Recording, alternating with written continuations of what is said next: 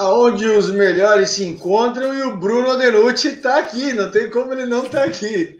É, para mim é um dos melhores. Seja muito bem-vindo, Bruno. Que bom, cara, que tu tem essa disposição de poder compartilhar todo esse conhecimento que tu tem, cara. Bem-vindo aí ao, do Fit Pro. Bom, muito obrigado, André. Obrigado pelas palavras, obrigado mais uma vez pelo convite. E espero poder superar as expectativas aí, né, que você comentou no início. E bora lá para fisiologia na prática, né? Um tema um pouco assim complexo que muitas vezes deixam de lado, mas a gente vai tentar aplicar ao máximo aqueles conceitos que a gente aprende lá, aquele conteúdo que a gente aprende na, na, na teoria, né, na fisiologia, para que, que ele pode ser aproveitado aí na nossa prática, prática do dia a dia, né? Aí muita coisa pode aproveitar, né, Bruno? Ninguém é melhor que a experiência que tu já teve aqui conosco no meeting do FIT, foi bem legal, tuas palestras, algumas palestras relacionadas também à liberação miofascial, que não deixa de ser parte fisiológica, né? Não, não dá para separar, não tem como é, dissecar uma coisa é. da outra. E, cara, é. boa, boa, aula aí. Oh, desculpa, fala, pode falar.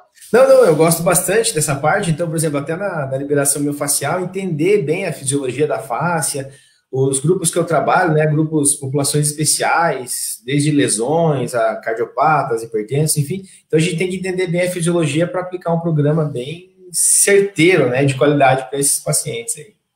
Com certeza. Para quem não te conhece, Bruno, tu, eu vou antecipar um pouquinho, mas uh, para quem não conhece, o Bruno é fisioterapeuta, educador físico. Tu vai te apresentar, eu acho, mas ele está na prática como todos os profissionais que trabalham com a do Fit, ele está na prática do que ele vai falar, então ele não vai falar o que não existe ou só o que está no livro, né, Bruno? Isso a gente gosta é. muito de ressaltar, né? Cara, é isso aí. Boa aula, boa aula, aproveita. Aproveita aí, eu, eu, vou aproveitar aqui, cara. Já estou com meu caderninho aqui do lado aqui, já vou anotar um monte de coisa. Bora, bora lá, cara. bora lá. Muito obrigado. Bora lá. Muito bem, então é, mais uma vez, é um grande prazer estar aqui com vocês. Agradeço a do FIT pelo convite. E vamos falar então sobre a fisiologia na prática. Como o André falou, comentou, eu sou formado em fisioterapia e em educação física. Primeiro eu fiz a fisioterapia e já contando uma história rápida aqui, é, quando eu fui fazer meu TCC da fisioterapia, a gente foi trabalhar com triatletas. A gente foi comparar um programa de alongamento, um outro grupo com recuperação metabólica ativa, mais alongamento. Né? Então, um grupo fazia só alongamento e o outro fazia a recuperação metabólica ativa, mais alongamento. E aí eu tive que buscar a fisiologia, porque eu vi que eu estava um pouco é, deficiente aí, né, nessa parte da fisiologia, e me apaixonei. Então, saindo da fisioterapia, eu já ingressei na especialização em fisiologia do exercício e prescrição de exercício na Gama Filho, que hoje nem existe mais, né? Que era uma pós assim que vinha professores do Brasil inteiro ministrar, professores bem bem renomados assim. E aí finalizei a pós em fisiologia do exercício e prescrição de exercício. Queria me aprofundar ainda mais né, nesse, nesse assunto, né? Me apaixonei mesmo e eu olhava aqueles professores da pós-graduação e eu falei, putz, eu quero ser como eles, né? Qual é o caminho? Daí eu colei neles e eles falaram, cara, faz um mestrado. Então, saindo, antes mesmo de eu defender a pós, na verdade, que eu defendi em março, antes de eu defender, março de 2008, no começo do ano, no final do ano anterior, eu prestei a prova do mestrado para biologia celular molecular e era a área de concentração e fisiologia. Então, era um programa de biologia celular molecular com a área de concentração e fisiologia. Então, a gente estudava a parte mais micro, né, dentro da célula.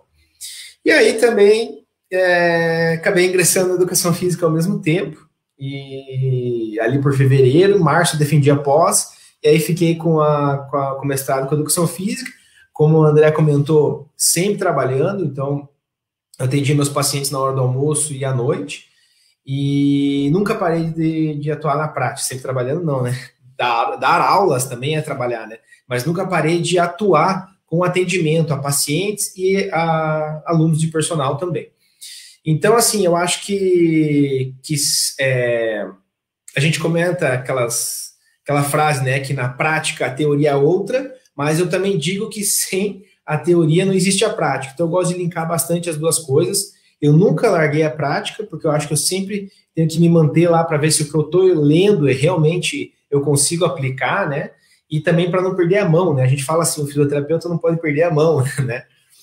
Bom, daí tem outras formações, é, vai desde FMS, 3D Maps, coloquei ali o Functional Training Prescription Specialist da IFBB, eu criei, vamos dizer assim, né, um termo, porque em 2015 eu entrei no, no Conselho de Fisioterapia como um consultor, um colaborador, fiquei de 2015 a 2018, falando sobre prescrição clínica do exercício para as DCNTs, as doenças crônicas não transmissíveis, né? E isso foi. A gente viajava o Paraná inteiro, né? Praticamente as cidades principais, assim, a gente ia oferecer esses treinamentos. E aí, um certo momento, é, eu já gostava bastante, né, da, da, do pensamento, vamos dizer assim, da metodologia, da filosofia do treinamento funcional. E o presidente do conselho ele chegou e perguntou: dá para a gente usar o treinamento funcional? Falei, dá, inclusive eu acho muito interessante. Ele falou, mas não é muito assim só para performance? Eu falei, não. Daí a gente pegou e falou, vamos chamar de treinamento clínico funcional. Né? E aí, é, pelo conselho, eu fui convidado a escrever uma cartilha de prescrição clínica de exercício, que em toda a unidade básica, as principais unidades básicas né, de cada regional, vamos dizer assim, aqui do Paraná, tem essa cartilha, que foi eu que escrevi, uma orientação para eles atenderem esse tipo de população. E essa cartilha deu origem ao meu livro, né, que é o Treinamento Clínico Funcional para as Doenças Crônicas Não Transmissíveis. Nesse livro, é só voltado para as doenças crônicas não transmissíveis, tem toda a base da prescrição, e a segunda parte do livro é as doenças, cada capítulo uma doença. Mas não falamos de lesões ainda, ainda nesse livro, mas mais para frente eu pretendo produzir um material também sobre lesões, tá? Nossa visão é, para as lesões. É, acho que no geral é isso. Sou proprietário aqui em Curitiba do Estúdio Funcional Trainer. É, tínhamos também uma clínica, a Pulsar Fit, de reabilitação cardíaca. Infelizmente, com essa situação, o público de alto risco não vai voltar tão cedo e a gente acabou optando por, por encerrar as atividades. Né? Eu ministro aulas em, na graduação de fisioterapia, em pós-graduação, tanto para educação física quanto para fisioterapia no Brasil inteiro, desde Roraima, que eu fui já e vou de novo, acho que esse é, era para ir de novo esse ano, né? Mas de Roraima até até aí onde o André está, em Floripa, né? A gente ministra aula por tudo, todo o país aí de pós-graduação e cursos também, tá? A gente desenvolveu, ou a minha empresa, né, o STF, que vocês podem ver a logo aqui, né, o Sistema Terapêutico Funcional, que é um sistema que a gente desenvolveu, que depois virou o treinamento clínico funcional e hoje o STF virou empresa, porque daí já tem hoje a parte manual para fisioterapeutas, a gente já foi ampliando um pouco isso. Né? Então o STF virou basicamente a nossa marca, a nossa, nossa empresa, né? Muito bem, então entrando agora no, no assunto mais específico, né, da fisiologia na prática, assim, é, eu tenho muita coisa para falar, cada sistema, dá para a gente ficar falando horas aqui, e eu trouxe alguns sistemas principais e vou, vou abordar um pouco sobre, sobre cada sistema e tentar é, relacionar um sistema com o outro e trazer sua aplicação prática. Então, a primeira coisa que a gente precisa entender é que, assim, ó, quando eu estava lá na faculdade, chamava-se aparelho. Aparelho digestivo, aparelho cardiovascular, e hoje chama-se sistema, já faz um bom tempo que chama sistema. Por quê? Não existe um sem o outro. Então, essa questão do pensamento individualizado eu acho bem complicado.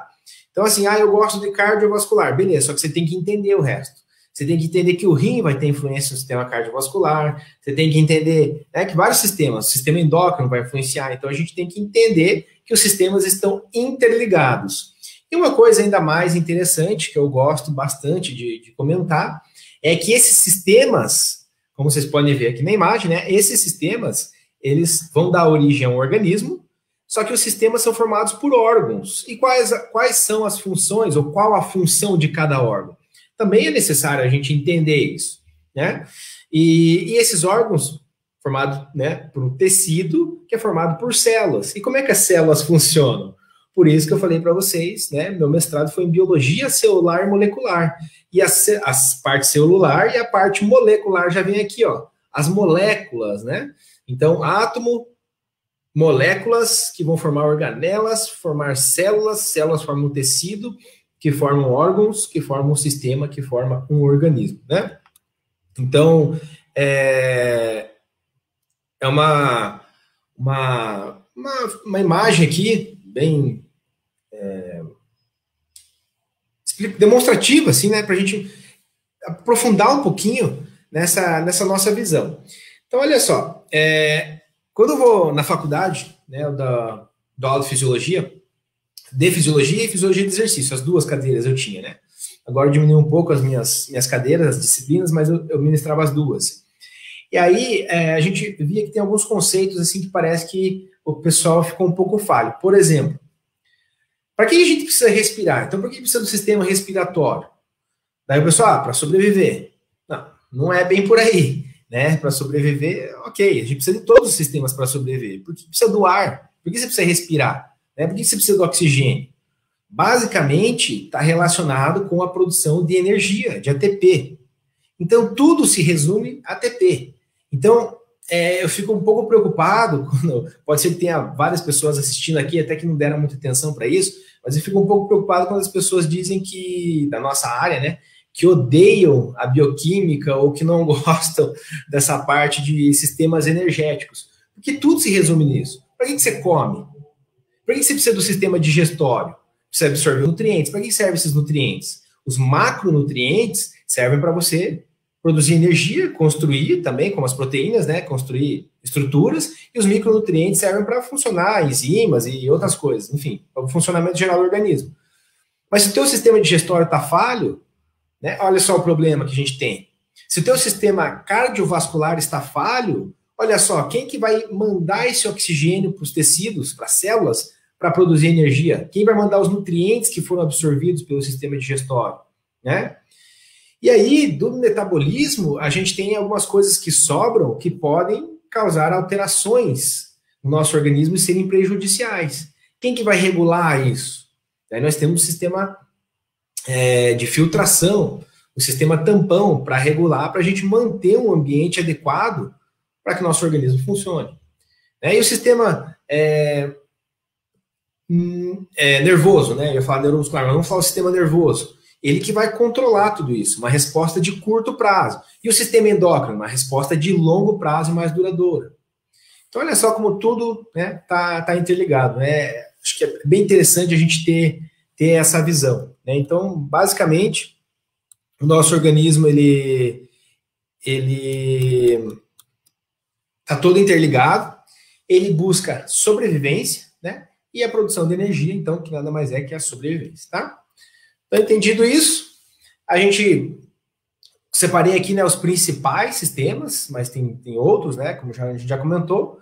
Então, só lembrando que esses sistemas estão todos interligados: sistema nervoso, sistema cardiorrespiratório vascular, sistema endócrino metabólico, coloquei sistema osteomuscular ou músculo esquelético, temos o sistema imune, temos o sistema digestório, temos o sistema de filtração e excreção, sistema reprodutor, são vários sistemas. Claro que não dá para a gente se aprofundar em tudo aqui, mas vamos tentar falar um pouco sobre cada sistema e linkar um com o outro e trazer essa aplicação aí na prática para vocês, né? Mais um conceito rapidinho, então, é, o nosso organismo ele visa a homeostasia, né? A primeira aula de fisiologia a gente aprende isso. O que é a homeostasia? É o equilíbrio. Então a gente tem uma linha onde esse organismo, vamos imaginar, né, que é uma linha de equilíbrio. E nós temos esses set points no nosso hipotálamo. Então, por exemplo, eu tenho um set point de temperatura, eu tenho um set point de pressão arterial, eu tenho até uma teoria, uma teoria do set point para obesidade, vocês já ouviram falar. Né? Então, o indivíduo que está lá é, obeso faz 10 anos, vou tentar trazer um pouco a prática já, tá? O indivíduo que está obeso faz 10 anos, ele já tem um set point lá que aquilo lá, aquele peso é normal para ele. Aí você quer emagrecer é, 30 quilos em um mês, por exemplo, né? O que, que acontece com o organismo? O set point dele ainda está naqueles 120, 150 quilos. Né? Então ele vai tentar compensar para voltar para aquela linha, aquela, aquela naturalidade. Qual que é a pressão arterial normal? Abaixo de 120 por 80. Então, se eu saio fora dessa faixa, ou abaixo, ou acima dessa linha, o meu organismo percebe isso através de receptores e lança a mão de mecanismos para regular. Então eu tenho algumas mudanças externas, né? Mudanças, algumas influências externas também que podem alterar e o nosso organismo ele vai ter que buscar a homeostasia. Se eu não consigo buscar a homeostasia por algum motivo, eu posso ter então é, se eu não tenho uma, uma compensação, né, eu tenho, então, a doença ou é, disfunção, como quiser chamar. Se eu tiver uma compensação desse mecanismo, ok, eu tenho a saúde. Então, vamos lá. Aplicando esse conceito aqui na prática, o que, que é a hipertensão? Nada mais é do que uma falta do controle homeostático. Por quê? Ah, porque já tem alteração em algum dos sistemas. Qual? Pode ser no coração, pode ser nos vasos, pode ser na, na no próprio é, sistema renal. Enfim, alguém não está conseguindo buscar a homeostasia né? Aí a pressão está subindo. É... Diabético. Alguém não. Por que, que não está buscando a homeostasia? Alguém não está funcionando adequadamente, né? Nós temos que saber também que no nosso organismo é assim: nós temos vários receptores, esses receptores captam os estímulos, esses estímulos vão por via aferente, com um centro integrador, esse centro integrador interpreta essa mensagem e vai desencadear uma resposta para uma via eferente. Né? Então, eu posso ter alteração do receptor, posso ter uma alteração no centro integrador e posso ter uma alteração no efetor. Então, eu posso ter uma alteração em todo esse caminho aí que pode não buscar, não conseguir buscar a homeostasia, né? Então, assim, é, a, a, até vamos dar um exemplo aqui para um exercício, né? É, uma resposta antecipatória o indivíduo chegou a fazer um exercício de supino. Eu acredito que a maioria aqui dos nossos participantes, aqui, os, os ouvintes aqui, eles são é, profissionais, é, treinadores, né? Deve ter alguns fisioterapeutas também, mas vamos trazer esse exemplo mais para a parte de treinamento. Então, vai fazer lá um supino, o cara já tem uma experiência motora, ele bate o olho, ele vê que tem 20 quilos cada lado, ele já sabe já tem uma experiência, então ele já se antecipa e já vai ter uma ativação do seu, do seu organismo para recrutar uma quantidade de músculo suficiente para levantar aquele peso. É, quando eu levanto, vou pegar aqui meu mouse, ó, eu sei que meu mouse é super leve, eu tenho a necessidade de recrutar todo o meu músculo, ter um gasto energético altíssimo, né, gastar ATP para recrutar todas as fibras, todas as unidades motoras? Não tenho. Eu já tenho uma experiência motora, que eu bato o olho ali, eu sei que eu preciso é, recrutar é, menos, não precisa recrutar o músculo como um todo, né? Então, essa, essa parte de regulação aí inicial é bem interessante para a gente entender o que vem para frente.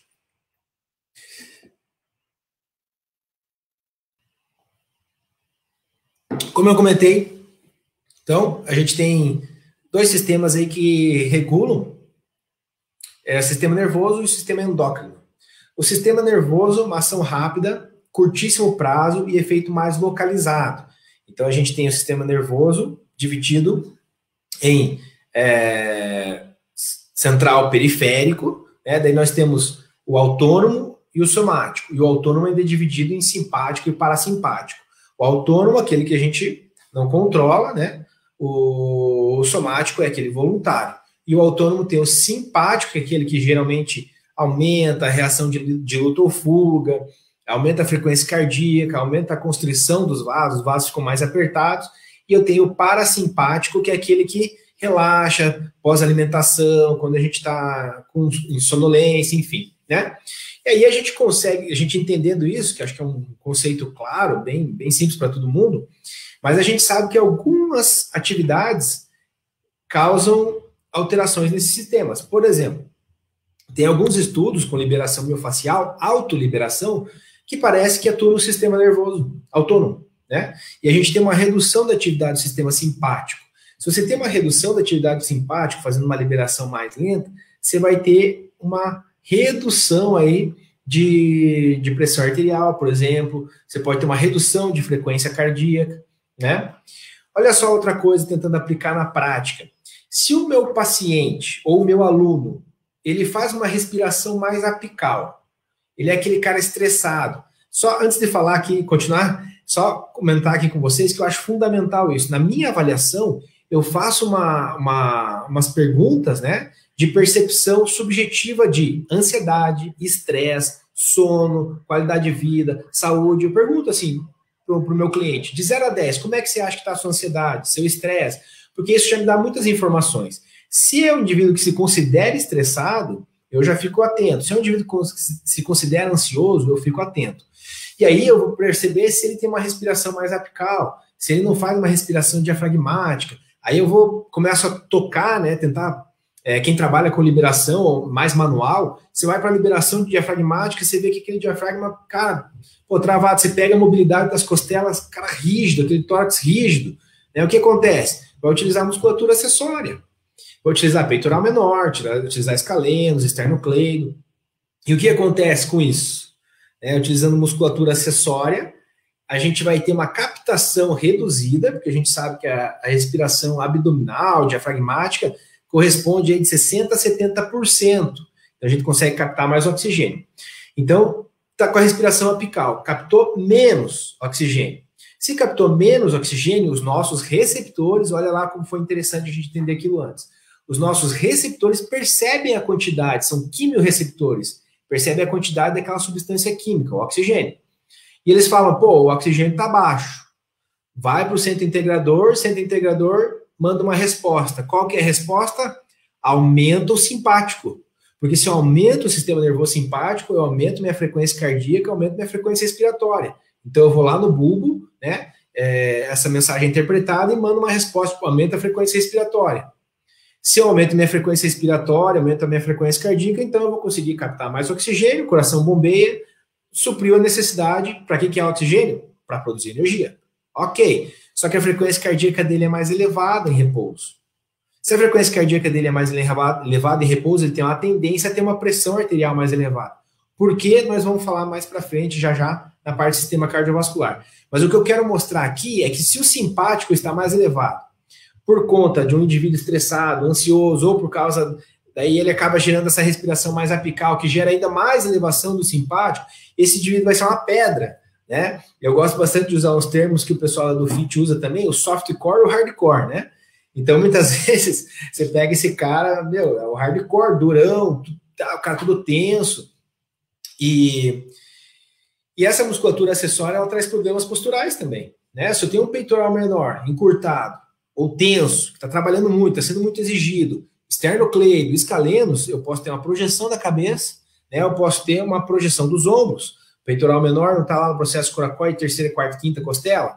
Então, se eu tenho a escápula fixa, ele leva as costelas. Se eu tenho as costelas fixas, num outro momento da respiração, se ele está tenso, ele vai puxar para frente. Se eu puxo para frente meus ombros, eu diminuo a minha expansão caixa torácica, prejudica ainda mais a minha captação de oxigênio.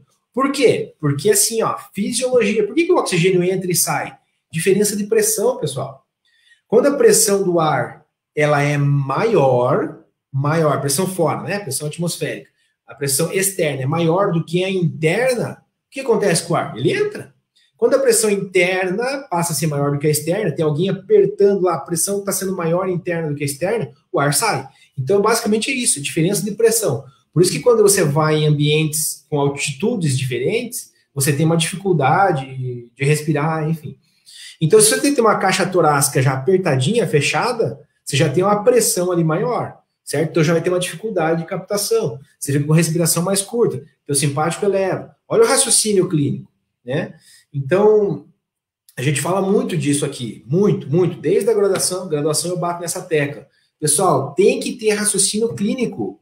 É, não pensando só no paciente, no fisioterapeuta, no, no treinador também, porque cada vez mais os treinadores estão atendendo populações especiais né? E, e até para rendimento esportivo também isso faz, faz diferença, né? Até nas, nas lesões, enfim.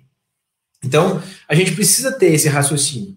E quando eu faço uma avaliação, né, eu, se eu tenho a base, que é fisiologia, anatomia, cinesiologia, biomecânica, eu pego minha avaliação, pô, eu consigo interpretar o que aquela avaliação postural está me dizendo, o que aquele teste ergométrico está me dizendo, aquela ergospirometria. Agora, se eu não tenho a base, eu olho aquilo lá, eu posso até saber fazer, aplicar todos os testes do mundo. Faço FMS, faço 3D Math, faço avaliação postural, faço testes específicos lá da físio, faço tudo. Mas se você não tem a base, como é que se interpreta isso? Né? Eu costumo dizer que é assim, é o Dr. House, né? O Dr. House acho que todo mundo conhece. Por que, que o Dr. House ele é o cara do diagnóstico? Porque ele conhece as doenças. Se você não conhece a doença, como é que um dia você vai dar o diagnóstico se você não sabe que ela existe? Se você não sabe como funciona a fisiologia, se você não sabe a cinética, se não sabe a mecânica, o resto desmorona. Então tem uma base sólida para depois se construir para cima. Né? Então eu desenvolvi é, a pirâmide do conhecimento, uma forma didática para ensinar e para convencer os meus alunos. Que é assim, a pirâmide do conhecimento, nós temos a base, fisiologia, biomecânica, cinésia, que é o raciocínio. O meio da pirâmide é a avaliação, que vai te dizer o que fazer. E o topo da pirâmide é a prescrição, que é o como fazer. Então, tem que ter uma base para ter o resto. Por isso, já dei alguns exemplos aqui da fisiologia, né? Com essa parte aí da, da respiração. Muitas vezes você faz lá uma de liberação diafragmática, ensina o seu cliente a respirar melhor, você vai ver que vai relaxando, vai diminuindo a tensão, vai corrigindo a postura, vai diminuindo a anteriorização do ombro, que causa uma diminuição do espaço subacromial e aumenta o impacto, e aí ele começa a fazer exercício, começa a ver que já não está sentindo tanta dor, aí você começa a fazer exercícios já mais acima da cabeça, como é, os... me falhou a memória aqui, o desenvolvimento, né, é, elevação lateral e por aí vai, começa a render melhor. Então a gente prepara o nosso cliente para chegar em algo mais mais profundo, vamos dizer assim, né? Periodização, basicamente isso, né? Sistema endócrino, então, pessoal, ele é responsável por uma ação lenta, porém duradoura, a médio e longo prazo, mas tem um efeito amplo, sistêmico, né? O sistema nervoso, ele vai atuar aonde os neurônios estão é, mandando a mensagem. O sistema endócrino libera na corrente sanguínea, onde tiver receptor para aquela para aquele mensageiro, né, que o hormônio é um mensageiro, onde tiver receptor, ele vai se ligar e vai tirar uma resposta. Né? A não ser o sistema é, hipotálamo hipofisário, né, que tem o, tem o sistema porta. O que, que é? São vasos que saem do hipotálamo direto para a hipófise. Então, os hormônios saem dali e vão direto para a hipófise. Eles não percorrem a corrente como um todo, né? Por isso que a gente chama o sistema porta hipotalâmico hipofisário, né? Tá bom? Então é bem interessante a gente entender isso e saber que no exercício a gente pode modular. Já falamos aí do simpático, parasimpático, e o sistema endócrino também a gente pode trabalhar bastante com exercício. A gente já comenta mais sobre ele à frente, tá? Então, voltando é, para a base lá, o micro, é, a razão de tudo, né, que é o ATP, né, a gente tem que entender os sistemas energéticos e vocês vão entender aí algumas coisas que eu trouxe do micro, tentar aplicar para o macro, até para prescrição de exercícios para obesos, cardiopatas, como essa questão do, do metabolismo energético, esse metabolismo do ATP vai ser importante para a gente é, trazer alguns benefícios para os nossos, os nossos pacientes e alunos, né? Muito bem. Então, entendendo os sistemas energéticos, né? Então, nós temos ali o ATP-CP, que é aquele primeiro sistema, fosfagênio. É, basicamente, nós temos a quebra do ATP, nós vamos ter a formação de ADP mais fosfato inorgânico. Isso é um, às vezes é um, é um erro aí que o pessoal comete de achar que o ADP é adenosina trifosfato. Eu quebrei, eu vou ter adenosina de fosfato, e o outro fosfato sumiu, desapareceu. Ele é energia. Não é isso. A energia é a ligação de um fosfato com outro, é uma ligação de alta energia. Quando eu quebro, eu libero energia. E o fosfato continua existindo. Ele fica chamado fosfato inorgânico, fica aí vagando, vamos dizer assim, né? flutuando. Então eu quebrei o ATP, eu tenho adenosina de fosfato agora, mais um fosfato que está vagando por aí, certo? Aí eu tenho a creatina, é aquele, aquele suplemento mesmo que a gente toma, né? A creatina ela se liga nesse fosfato inorgânico para formar a creatina fosfato. Quando eu tenho a creatina fosfato, então ela é reconhecida pela enzima creatina quinase, que é a chave, né, a enzima chave nesse processo. E a creatina quinase, ela vai pegar esse fosfato que está junto com a creatina e vai ligar lá no ADP e vai formar um ATP, vai ressintetizar o ATP. Então eu tenho também batido nessa tecla da gente falar, eu falo muito também esses termos, produzir ou formar ATP, na verdade a gente só recicla, a gente ressintetiza, né? Produzir, a gente herda da nossa mãe lá, né? Nossos ATPs e depois da, daí para frente você vai ressintetizando, ressintetizando, né? Reciclando. Então o ATP mais a creatina é o que vai sobrar, tá?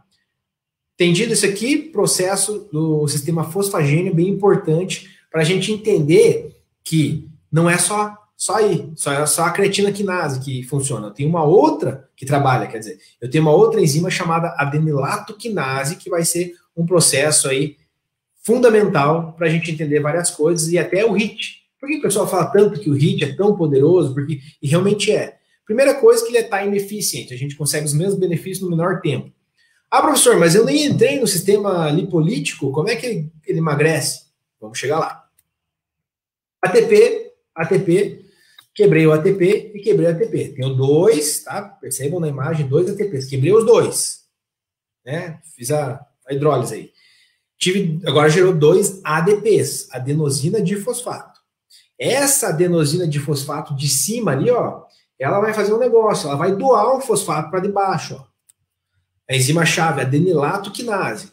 Então, o cara que está fazendo em alta intensidade, ele tem lá uma quantidade de creatina. Ele tomou creatina, beleza, ele aumentou a quantidade de creatina dele. Serve para quem vai fazer tiro de 100 metros, serve, serve, ajuda. A gente tem já estudos, tem estudos que mostram que a creatina ajuda no desempenho.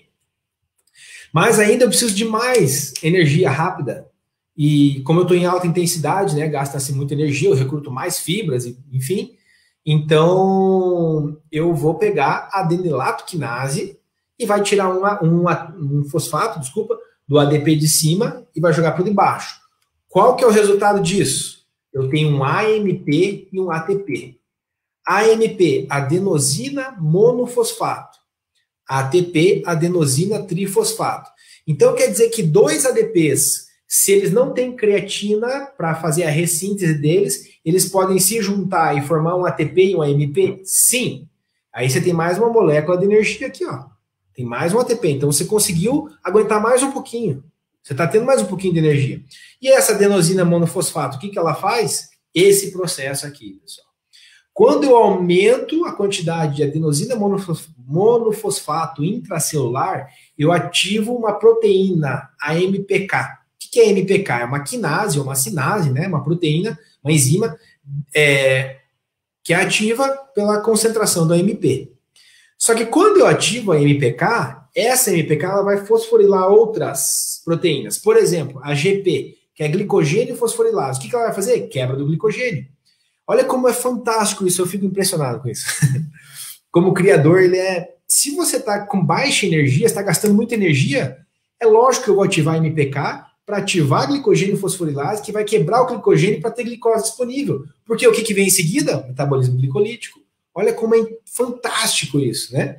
Fosfofrutoquinase, que é a PFK, é uma enzima chave do processo da glicólise, né? Aquela sequência de reações né, da glicólise, a fosfofrutoquinase, a gente sabe, ou se não sabe, é, se não lembra, estamos falando agora, uma enzima chave no processo. Tem exoquinase, tem fosfofrutoquinase, tem um monte de enzima, não precisa saber os nomes. Só precisa saber que a MPK vai de novo ativar ela para favorecer a glicólise. Favorece a MPK GLUT4, pessoal. GLUT4, Glucose Transporter. Então, o que, que é o GLUT4? É uma porta, só que essa que está dentro da célula. Então, eu tenho a célula, a, essa porta está dentro da célula numa vesícula. Quando eu tenho a ativação aí, né? Vamos dizer assim, por exercício ou pela insulina, tem uma via de sinalização que vai lá, pega essa vesícula e joga essa vesícula para a membrana, ela se fusiona com a membrana e essa portinha fica na membrana. O que, que essa portinha faz? Ela favorece a entrada da glicose para dentro da célula. Então, o exercício, através da ativação do MPK, Geralmente, quanto mais a MPK, melhor. Então, exercício em alta intensidade, né? Eu vou trazer a maior ativação do GLUT4, que vai fazer maior captação da glicose. E como que a glicose vai entrar de fora para dentro? Gradiente de concentração. Eu tenho mais fora do que dentro, ela vai entrar. Não é assim, eu tenho vontade própria, a glicose vai lá, né? É porque agora eu tenho uma porta que se abriu, tá? A insulina, ela não pega o açúcar e joga para dentro da célula. A insulina, ela se liga no seu receptor, na membrana da célula, que ativa um monte de proteína dentro da célula lá que faz com que o GLUT4 vai para a membrana. Então, durante o exercício, eu consigo fazer isso sem a insulina. Que é coisa melhor para tratar um diabético? Não existe. Então, assim, já falando disso, trazendo para a prática, vou falando um assunto e trago para a prática. Olha só, para o diabético. Melhor o exercício de alta intensidade para o diabético? Sim. Sim. Por quê? A gente vai estar trabalhando o metabolismo glicolítico, né? E porque eu vou tentar aumentar essas essa sequência que eu falei para vocês. A gente sabe que o exercício resistido ele aumenta a produção de GLUT4? Sim, por quê? O exercício resistido, qual que é a especificidade metabólica dele? É lipolítico? Não. Então, o que, que meu organismo vai fazer? Vamos nos aprimorar em metabolismo glicolítico. Então, quando eu faço exercício resistido, eu aumento minha produção de GLUT4. Então, eu vou ser uma, uma usina mais interessante de queimar glicose. Entende? Ah, mas se eu queimar glicose, então eu não vou emagrecer. Calma, que não é bem por aí. Né? Calma, que não é bem por aí. Mas espero que tenha ficado, ficado claro. Né? No final a gente responde as dúvidas. Né? Mas olha só que interessante. Mas assim, quem lê sobre HIT aí, deve ter bastante gente lendo sobre isso, estudando sobre HIT, a gente vê, pô, o HIT melhora o VO2. E eu leio muito sobre HIT em cardiopatas. Pode aplicar o HIT em cardiopatas? Lógico, lógico.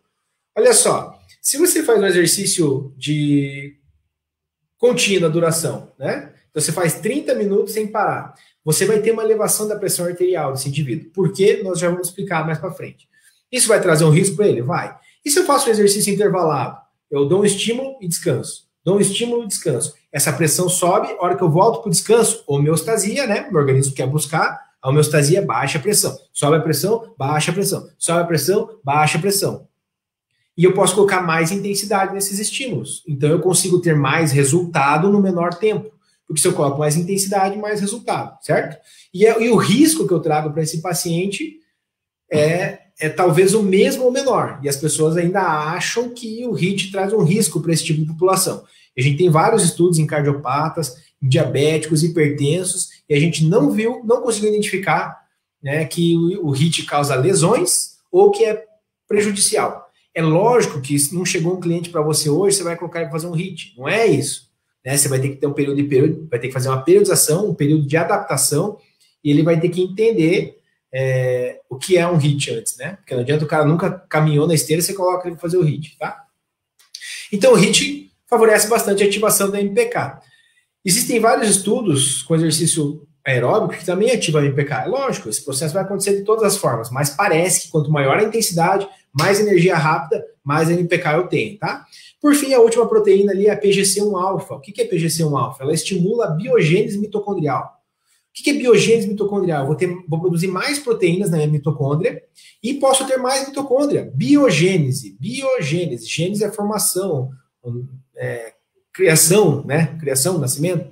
Biogênese. Formação bio, de uma nova organela biológica, né? Mitocôndria, no caso. Então, biogênese mitocondrial. O que, que a mitocôndria faz? Mitocôndria é a nossa usina para principalmente o metabolismo glicolítico aeróbio e o lipolítico. É, isso é importante a gente falar. É, fosfagênio, citosol, dentro da célula, mas fora da mitocôndria. É, glicólise anaeróbia, enzimas citosólicas. Glicólise aeróbia entrou para a mitocôndria. Né? Ciclo de Krebs, lá na matriz. E, a, e o metabolismo lipolítico também, né? Lipídico também eu preciso do ciclo de Krebs que está lá na matriz. E daí, se, se, quem lembra, né? Tem a membrana interna e externa da mitocôndria, tem várias proteínas lá. Transportadores de gordura, é, e por aí vai. E a gente sabe que essas proteínas também aumentam, são aumentadas, né? Através da, da estimulação da PGC1-alfa. Então, olha só, se eu consigo aumentar meu número de mitocôndrias, eu também, ou a melhorar a função dessa mitocôndria, eu consigo ser uma usina mais eficiente de queima de gordura? Sim. Ah, mas então esse é o exercício é, único para emagrecer? Não. É, esse é o melhor exercício para emagrecer? Não. É, ele só é mais eficiente, time efficient. Com menor tempo você consegue os mesmos resultados, né? E, e claro que depende da sua alimentação pós também. Porque não adianta, você está usando como fonte energética durante o exercício, você não está entrando tanto no metabolismo lipídico, mas no pós, você vai ter que restaurar os estoques de glicogênio, daí vai ter lipólise, e aí por aí vai, tá?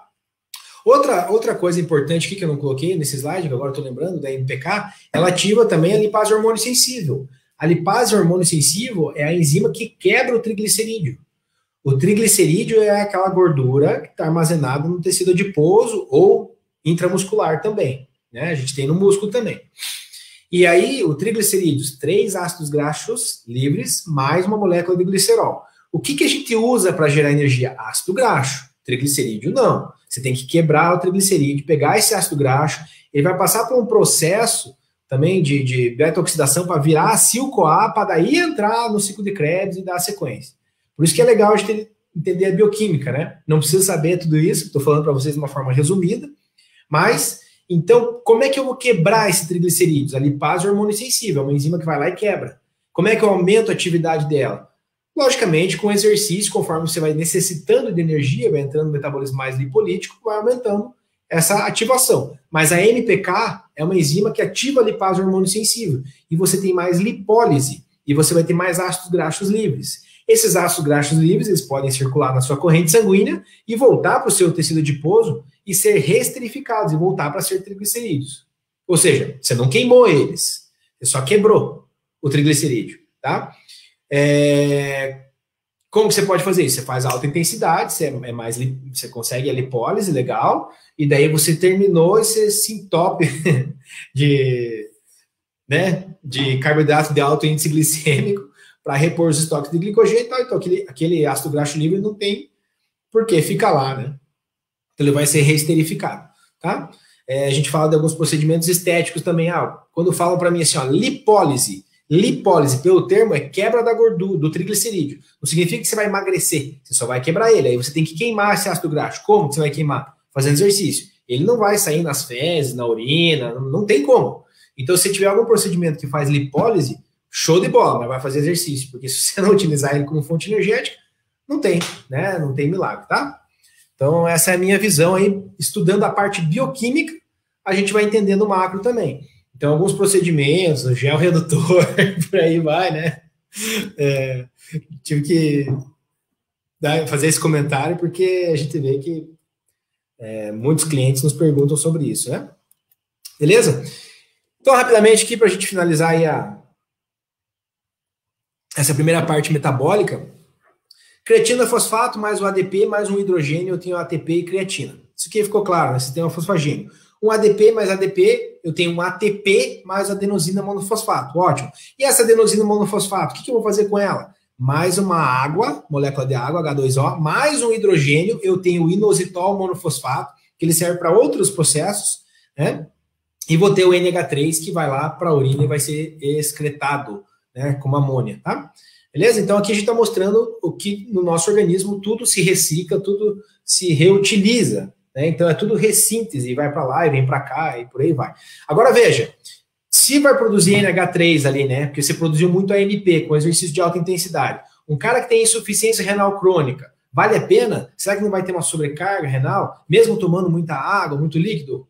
Então, cuidado, né? A gente falou do diabético ali, é, que a alta intensidade é interessante, o metabolismo glicolítico, ótimo, legal, resistido, beleza, para produzir mais GLUT4, é, não que o aeróbio não vai produzir, mas parece que o resistido produz mais, produz mais, mas assim, tem algumas complicações do diabético que você tem que evitar o exercício de alta intensidade, que é a nefropatia, né, problema no, nos néfrons, né, no rim, a retinopatia, que é você já deve ter ouvido, da, ouvido falar da cegueira diabética e a neuropatia periférica, né, que ele perde sensibilidade e então essas e, e desenvolve muita dor, né?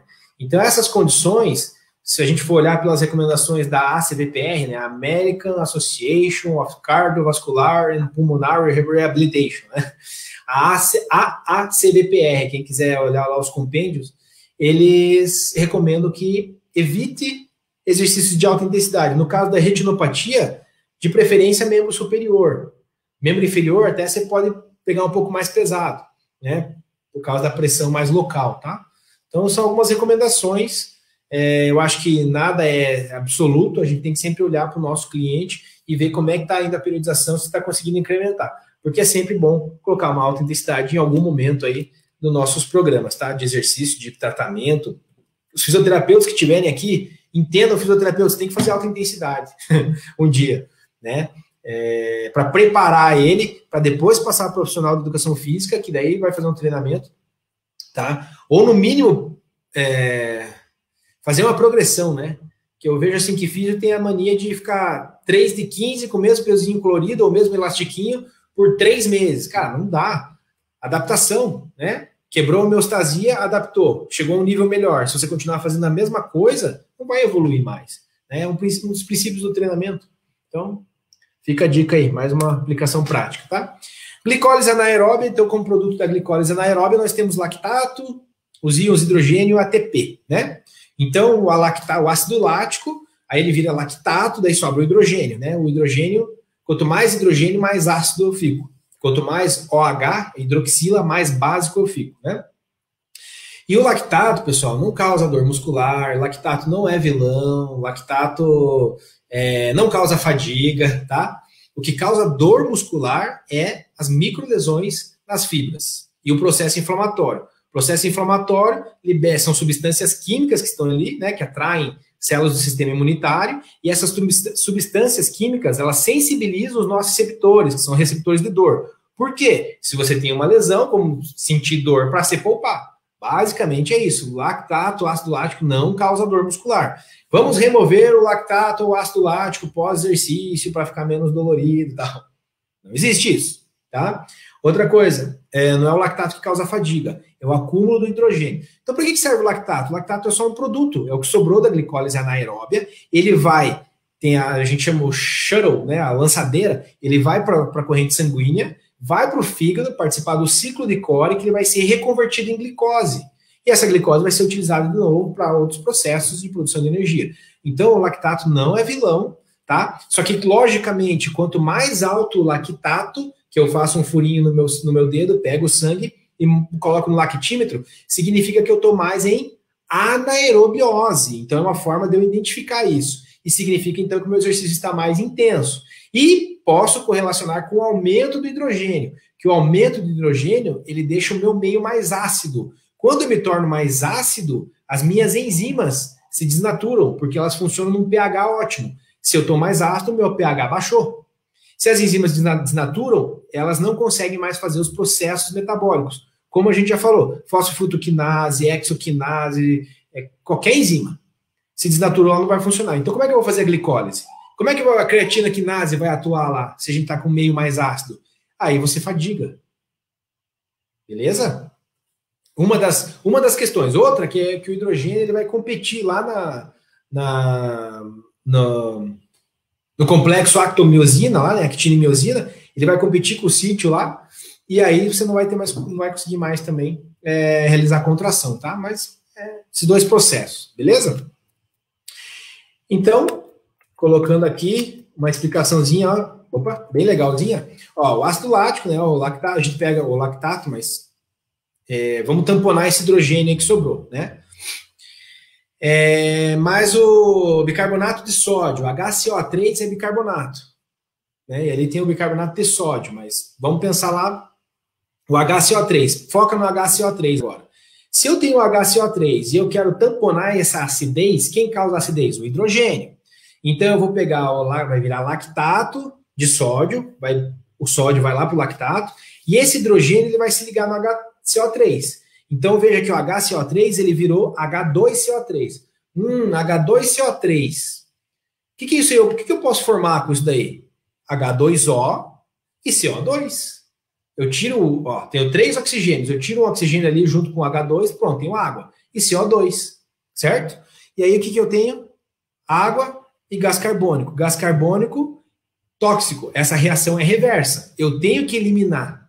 Eu só vou ter a difusão e perfusão dos meus gases é, por concentração. Se eu tenho muito CO2 nos meus vasos, como é que esse, esse CO2 vai querer passar para o pulmão, né?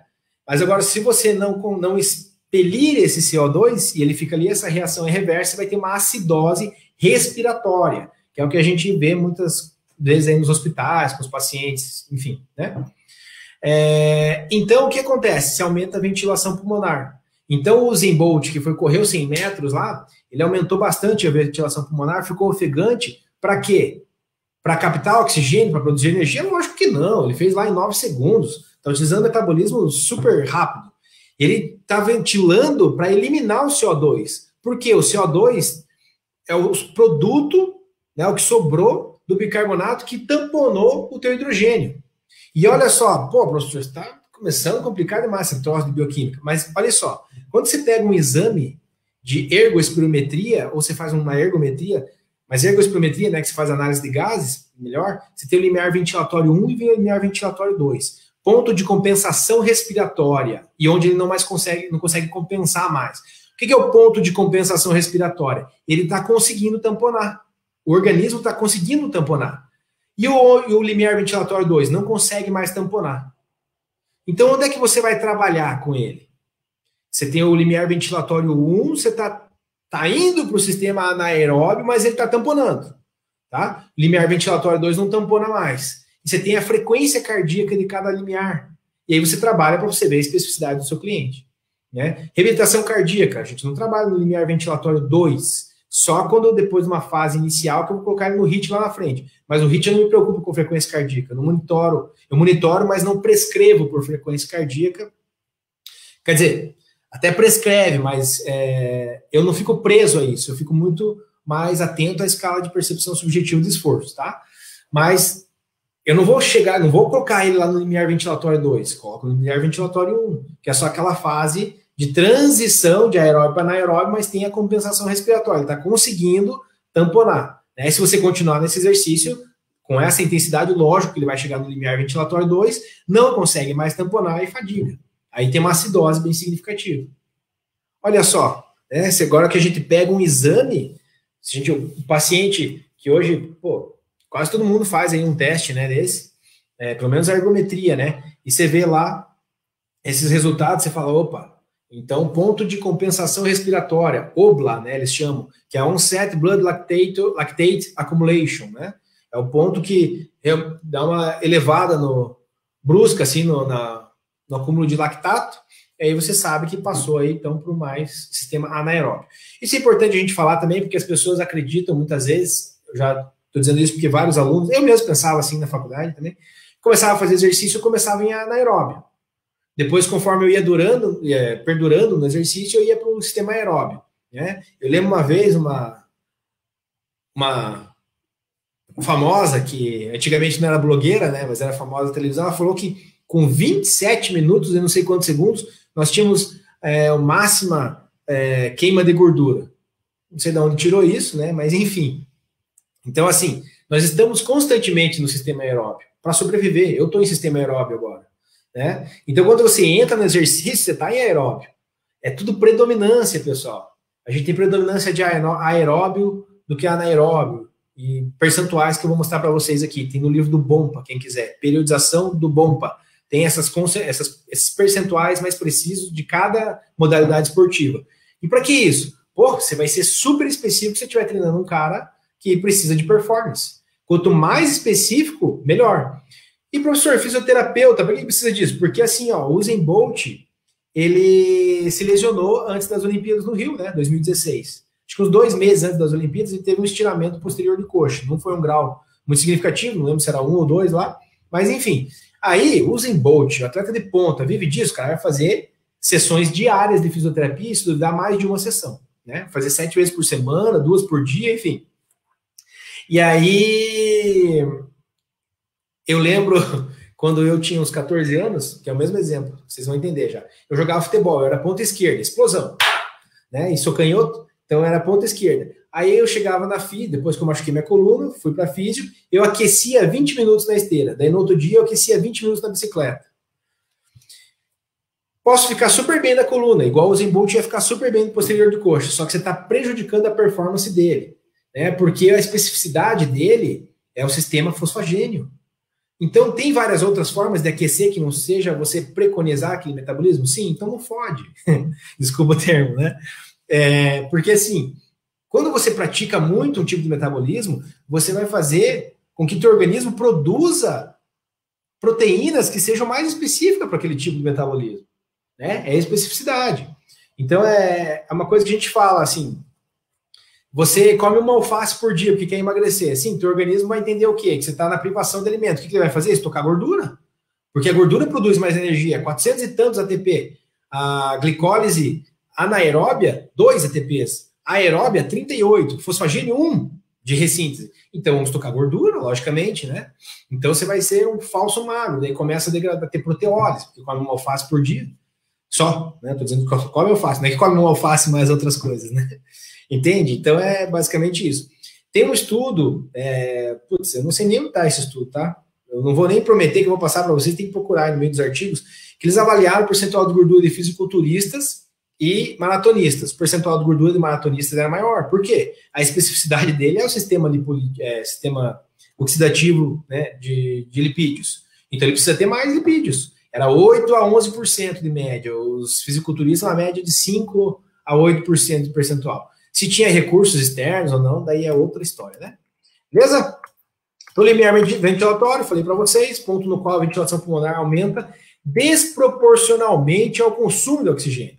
Né? Então, a ventilação pulmonar excessiva, ela deve ser o tamponamento do lactato, ou do ácido lático, né, para se tornar lactato, tirar o hidrogênio, né? Depois eu vou mudar ali até. Produzido pelo metabolismo anaeróbio lático, que resulta, então, em maior produção de CO2, a gente quer eliminar. Aí, esse aqui tá, é do Bompa, esqueci de colocar a referência, tá? Periodização do Tudor O Bompa, esse é o nome dele mesmo. Duração do exercício, de 0 a 75 segundos, tem um percentual praticamente meio a meio aí, de anaeróbio com aeróbio, né? De até 90 segundos ao anaeróbio, 44%, 120 segundos, 37%, 180 segundos, tá? Então, a predominância aí de metabolismo aeróbio e anaeróbio. E aí, qual é o estímulo que você vai dar?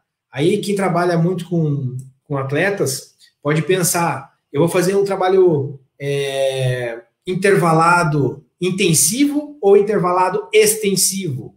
Eu vou fazer um trabalho contínuo intensivo ou extensivo? Eu vou fazer um trabalho de tiros para tolerância ao lactato? Qual o sistema que você quer melhorar? Sistema anaeróbio, aeróbio? Entende? Daí você faz uma prescrição específica. Tudo isso tem escrito na literatura. O que é um treino de tolerância ao lactato?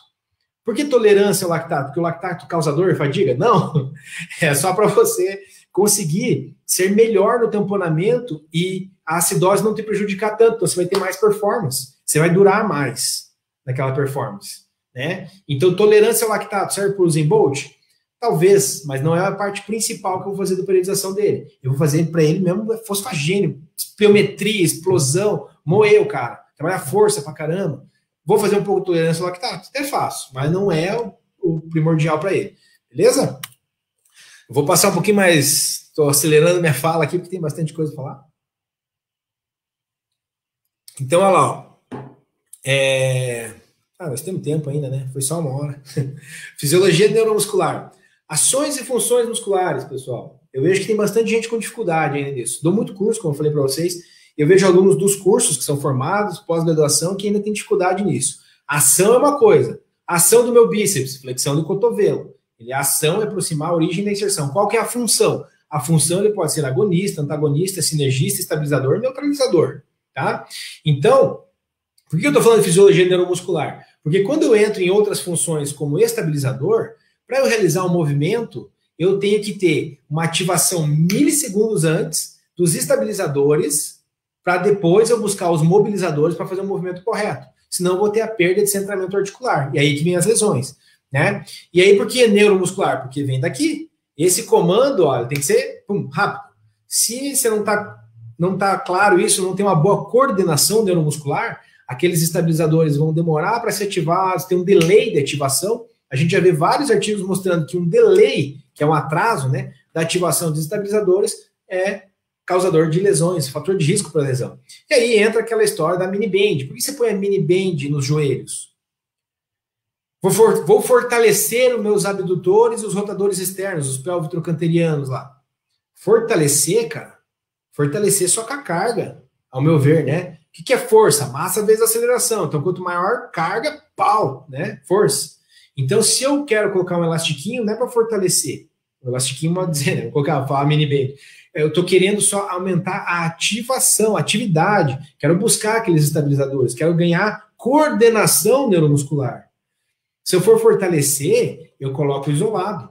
Faço o movimento da abdução isolado lá com bastante carga. Agora eu quero ganhar condicionamento, é, resistência de força, ou fortalecer ele, só que durante o um movimento que o movimento não é abdução. Beleza? Ok? Mas na verdade você está querendo aumentar a atividade dele. E esse a gente chama de uma, um recurso estabilizador externo. Eu posso ter uma estabilização interna? Sim, você fala para o seu paciente ou para o seu aluno: eu quero que você deixe os seus joelhos para fora, alinhados com a ponta do pé, ou até pode jogar mais para fora um pouquinho da ponta do pé. Ele vai ter a consciência e vai ativar uma estabilização interna. Uma estabilização externa, eu utilizo um recurso externo, pode ser minha mão, pode ser um mini band, pode ser daí plataformas instáveis e por aí vai. Então, função é diferente de ação. Relembrando, agonista é o principal do movimento, aquele que executa né, o movimento. Antagonista é aquele contrário, mas ele não está relaxado, totalmente relaxado. Ele tem um trabalho excêntrico, ele atua como um freio, né? A gente tem até aquele método agonista-antagonista na academia, que muitas vezes é para você diminuir a coativação. Coativação é um músculo antagonista que ele está coativado com o meu agonista. Então, se eu faço uma ativação desse meu antagonista primeiro, pela ativação desse músculo e pela ativação do órgão tendinoso de Golgi, eu posso relaxar ele. E quando eu vou para o agonista, que eu digo agonista, que é aquele que eu quero focar, treino de peitoral, por exemplo. Eu faço um treininho de costas, eu tive bastante tensão ali, né, na musculatura. A hora que eu terminei de fazer, vai dar uma relaxada. Ou dar uma diminuída na atividade, né? Não vamos dizer relaxar, porque não é bem por aí. Diminuir a atividade. Aí eu vou para o peito, eu consigo ganhar mais amplitude ou maior recrutamento. Porque o meu antagonista ele não está coativado, e se ele está coativado, eu teria o um mínimo de inibição do anterior, né, do peitoral, por exemplo. Então, olha só, neuromuscular, como a gente vai jogando com essas coisas, com esses conceitos, para a gente buscar melhor é, resultados nos nossos programas, tá? Sinergista. Sinergista é aquele que auxilia o movimento. Então, o sinergista, pessoal, ah, eu também na faculdade lá falei, beleza, já entendi, aquele que auxilia o movimento. Beleza, fechou. Braquiorradial auxilia lá na, na flexão do cotovelo. Mas é o bíceps que faz, e o braquial, beleza. Cara, é fundamental a gente entender quem são os sinergistas e principalmente quando a gente tem músculos biarticulares envolvidos. Porque existe um fenômeno chamado dominância sinérgica. Quem não. Acho que o pessoal aí do movimento né, já devem conhecer. Mas quem não leu um livro bem simples, não é muito grande, tá? é do Evan Ozar. Exercícios corretivos para as disfunções de ombro, de quadril, alguma coisa assim. É fantástico. O, o Evan, ele é. Acho que é treinador, mas ele também é quiropraxista, então ele tem uma visão assim bem global, tá? O que é dominância sinérgica? Quem faz extensão do quadril, por exemplo? É o glúteo máximo.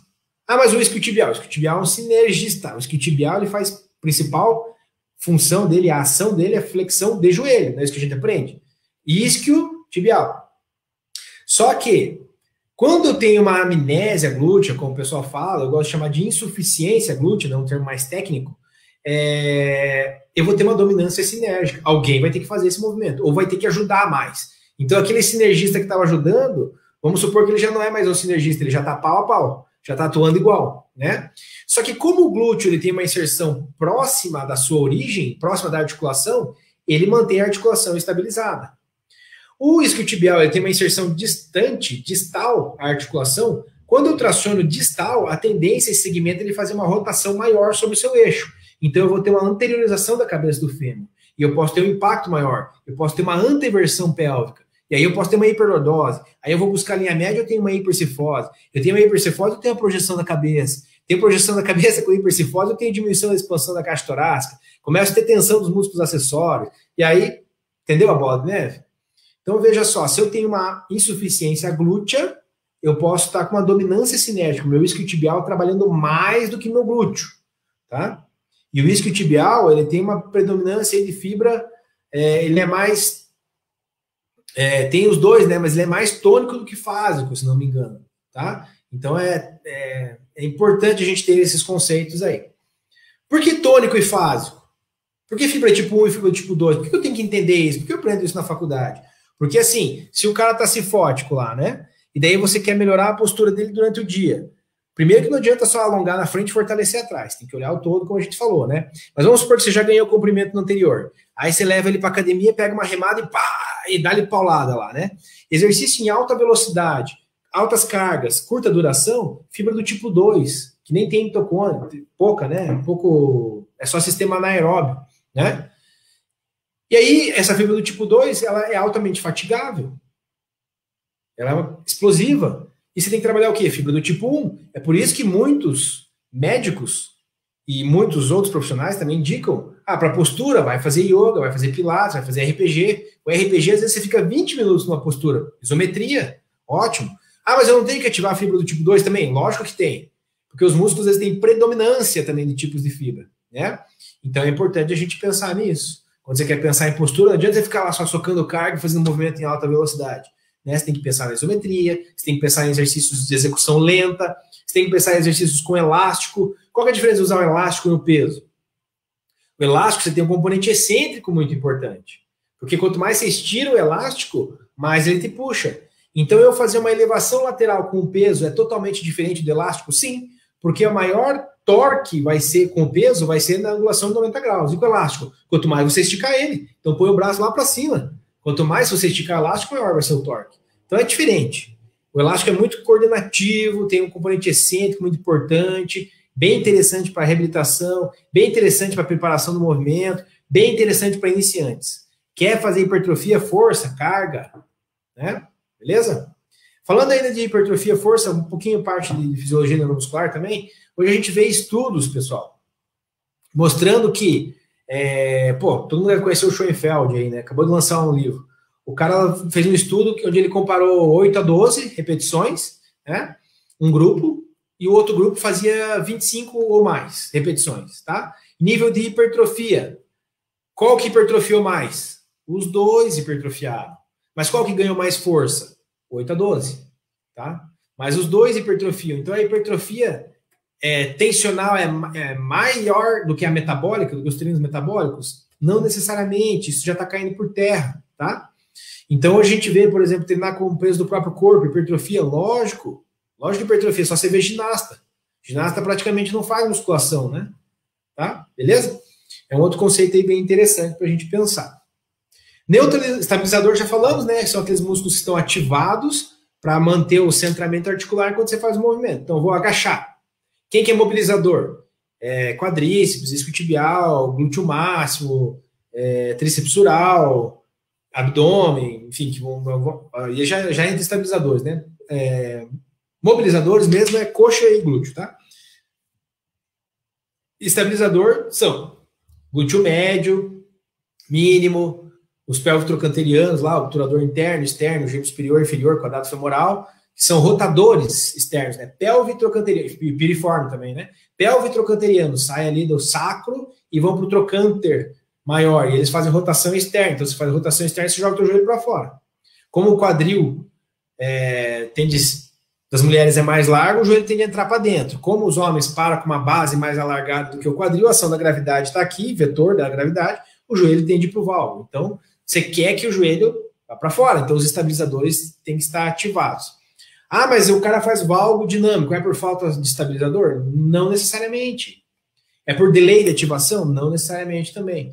Tem que avaliar, ver se ele não tem uma discrepância do membro inferior, um é mais curto que o outro, se não tem um drop pélvico. São várias coisas, né? Não tem receita de bolo. Eu sempre falo isso, né? Posto direto, posto diariamente no meu Instagram sobre esses assuntos.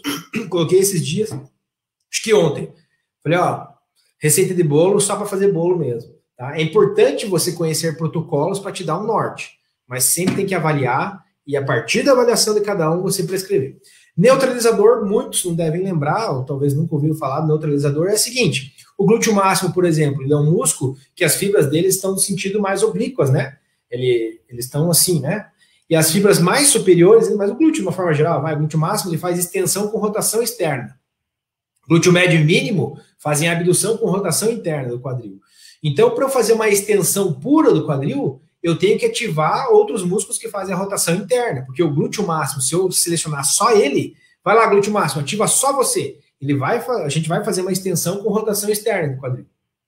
Porque esse é o músculo, essa é a ação dele, esse é o sentido das fibras dele. Então, para eu fazer uma, uma ação pura de extensão, eu tenho que ter um neutralizador para neutralizar a rotação externa do glúteo. Olha como é louco isso, né? como é interessante também. É, eu fico fascinado, mas falar que eu me empolgo. É, como a gente entendendo isso, fica tipo, ah, beleza, então, né? É bem importante eu fazer um trabalho de coordenação entre esses grupos musculares para o meu indivíduo ter uma boa qualidade no movimento, para eu é, reabilitar uma lesão ou para eu diminuir o risco de lesão, né? Com certeza, fundamental. Relembrando, então, o órgão tendinoso de Golgi e o fuso muscular, né? O órgão tendinoso de Golgi é aquele que está localizado na junção miotendinosa, aqui está mostrando o tendão, né? Geral, é mais na junção miotendinosa. São é, imagens representativas dos livros, né? Mas, enfim, quanto mais eu estiro essas fibras, como ele está entrelaçado aqui, ó, e é uma fibra nervosa sensível à deformação mecânica. Se eu aperto ela, abre os canais de membrana e o sódio entra e despolariza essa célula e gera uma mensagem que vem para cá, fazer uma interação aqui né, na nossa medula, interneurônio inibitório, que manda uma mensagem e essa mensagem vem para cá, inibe esse músculo, relaxa. Então eu utilizo muito isso na físio, contração isométrica. Contração isométrica, o que acontece? Eu tenho uma contração desse músculo, mas eu não tenho movimento articular. Como que pode isso? Se a miosina e a actina, a miosina ligou na actina e puxou. Tive encurtamento do sarcômero. Como é que eu não tenho movimento? Porque os tendões vão se estirar.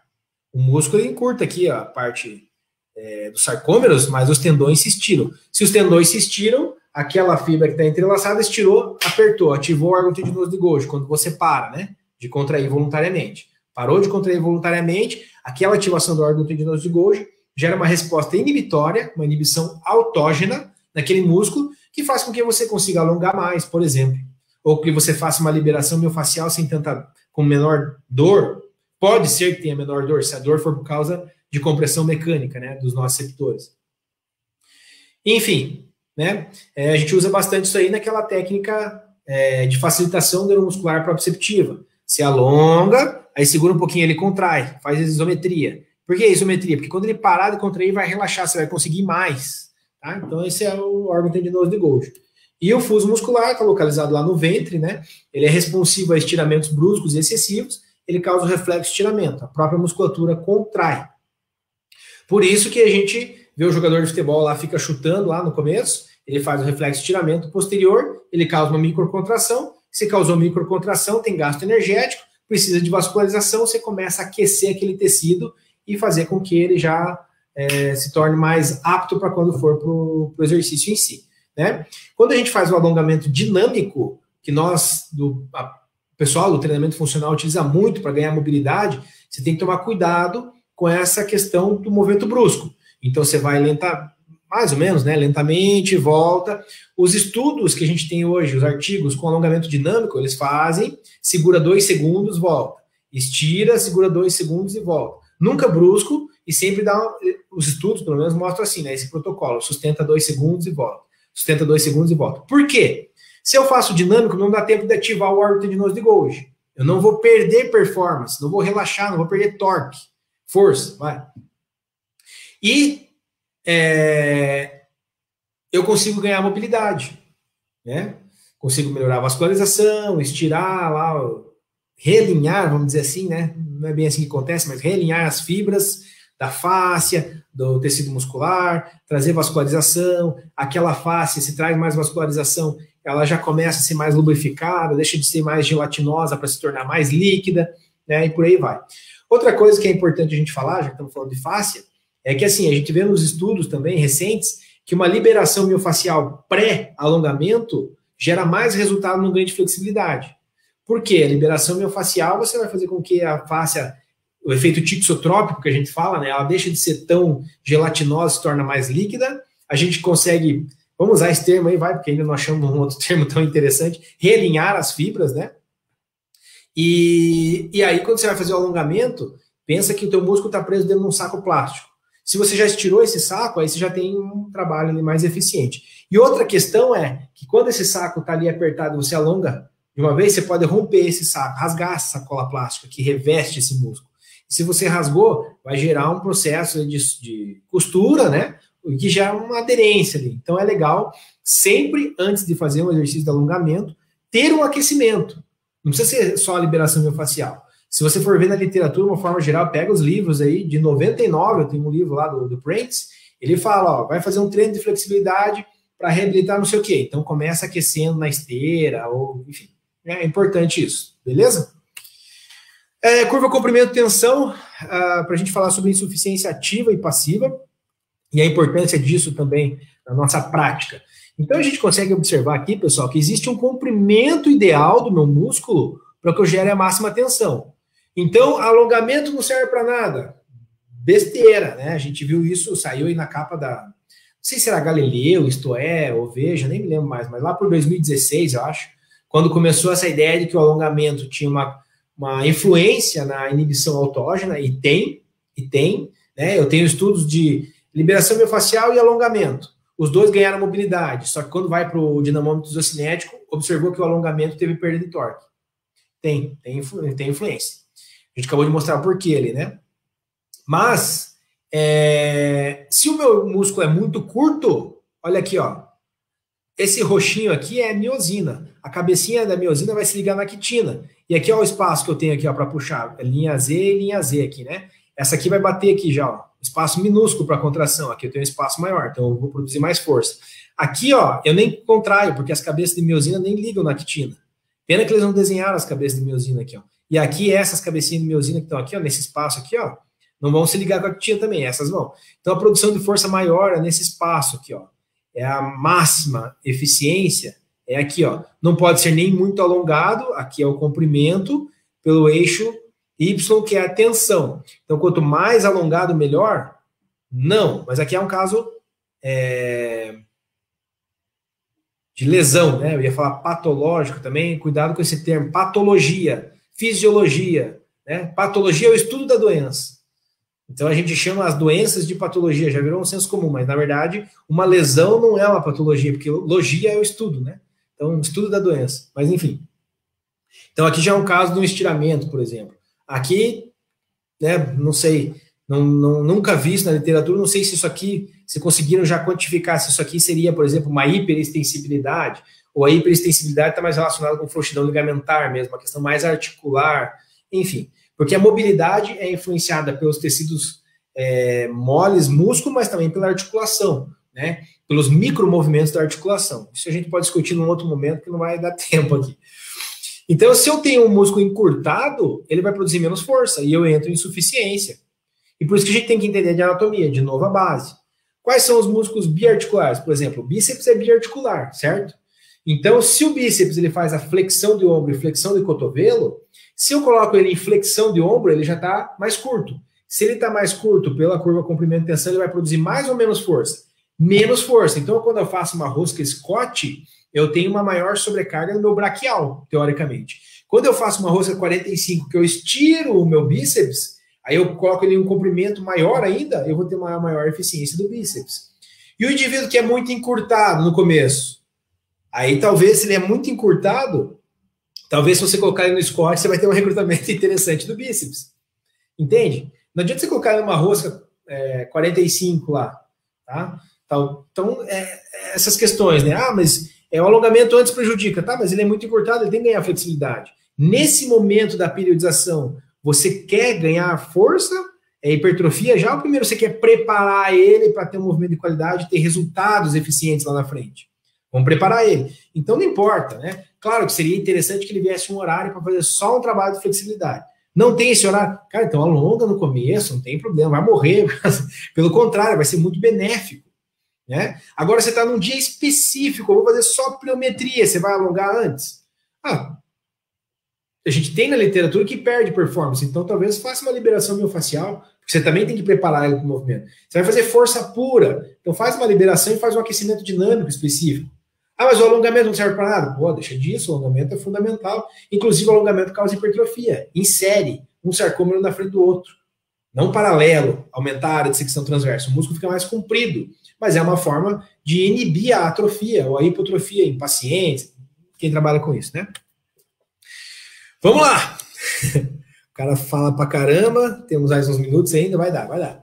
Sistema cardiovascular e o exercício. Pessoal, aqui tem muitos pontos, muitos pontos para a gente trazer para a prática também. Um, me desculpem, isso que eu falei aqui é insuficiência ativa, tá? Faltou a passiva. O que, é passiva? Se meu tríceps está encurtado e eu coloco ainda nessa posição de estiramento do tríceps, o meu tríceps está encurtado, eu estiro ele, se ativa o reflexo de estiramento, se diminui a atividade do bíceps, por uma inibição recíproca, né? Quando eu tenho um músculo ativo, ele inibe o seu antagonista para poder fazer o um movimento. Isso não é chamado de inibição recíproca. Então, a insuficiência passiva, se eu tenho encurtamento do meu antagonista, ele influencia no rendimento do meu agonista. Tá? Então é bom pensar nisso também. Sistema cardiovascular e exercício. Então, qual é a função do sistema cardiovascular? Mandar sangue e nutrientes para todo o nosso organismo. Então, o coração ele é uma bomba e ele precisa dos vasos para mandar, né? Como é que esse coração ele vai conseguir fazer com que esse sangue saia do coração e vá para, por exemplo, para a aorta e para a grande circulação, que é a circulação corpórea. Diferença de pressão de novo. Quando a pressão dentro do ventrículo passa a ser maior do que a pressão na aorta, a válvula se abre. A válvula é unidirecional, tá? Ela só abre para um lado, como uma porta. Então a pressão aqui passou a ser maior é, do que na aorta, do que fora, o, o, o sangue sai. A partir do momento que a pressão aqui nos vasos passou a ser maior que aqui dentro, o sangue pode querer voltar. E aí ele bate na válvula e a válvula fecha. Como ela é unidirecional, fechou, e aí o sangue não volta, não regurgita. Se você tem uma deficiência valvar, você vai ter um regurgitamento. Vai menos sangue para a circulação corpórea, regurgita para o seu ventrículo, e aí você vai ter dispneia e por aí vai, né? Outras disfunções. Agora, o que, que isso é importante? Importante que assim, ó, o teu hipertenso, os vasos estão mais apertados. Né? Vou mostrar aqui para vocês. Os vasos estão mais apertados. Se o vaso está mais apertado, a pressão aqui está maior. Esse coração vai ter que fazer mais força durante o dia inteiro? Lógico, porque a pressão aqui vai ter que ser maior do que aqui, aqui de fora para o sangue sair. Se o coração não exerce uma pressão maior do que a externa, o, o fluxo não acontece. O fluxo de saída, a ejeção. E aí o que acontece com esse coração? No longo prazo ele vai ter uma insuficiência cardíaca, né? Crônica. Por quê? Fez força durante o dia inteiro. Ah, então fazer exercício é ruim? Não. Porque o exercício é uma hora, duas horas, três horas durante o dia. Agora, o hipertenso é 24 horas por dia, todo dia sem descanso, aquele coração fazendo mais força, porque a gente tem uma pressão maior nos vasos. Olha como é fundamental a gente entender a fisiologia. Né? Então, se eu não trabalho, a hipertensão não é só porque ela pode deslocar um, um, uma placa e ou ainda causar a formação de placa, né? Porque se eu tenho uma lesão da túnica íntima, gera um processo inflamatório que agrega, agrega gordura, pode ter extravasamento da gordura que já está ali embaixo da túnica íntima, agrega as plaquetas ainda e forma um coágulo, um trombo ali, né? Não é só AVC e infarto.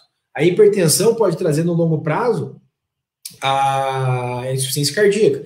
A hipertensão pode trazer no longo prazo a insuficiência renal. Por quê? Porque eu tenho um volume de sangue e, e se eu reduzir esse volume de sangue, eu consigo reduzir a pressão? Sim, se eu tenho a artéria assim e eu tenho uma quantidade de sangue assim, ótimo. Agora, se minha quantidade de sangue é assim, ó, ele vai passar moendo a minha artéria. Então a pressão vai ser mais alta. O que, que o rim faz? Para eu reter, por causa da osmolaridade, para eu reter menos água, eu tenho que excretar o sódio. E vamos excretar a água também. Então dá-lhe o rim trabalhar, dá-lhe o rim trabalhar. E o cara é hipertenso, e o rim trabalha, o rim trabalha, o rim trabalha. E aí o que acontece? Insuficiência renal por causa da hipertensão. Olha só, que legal isso, né?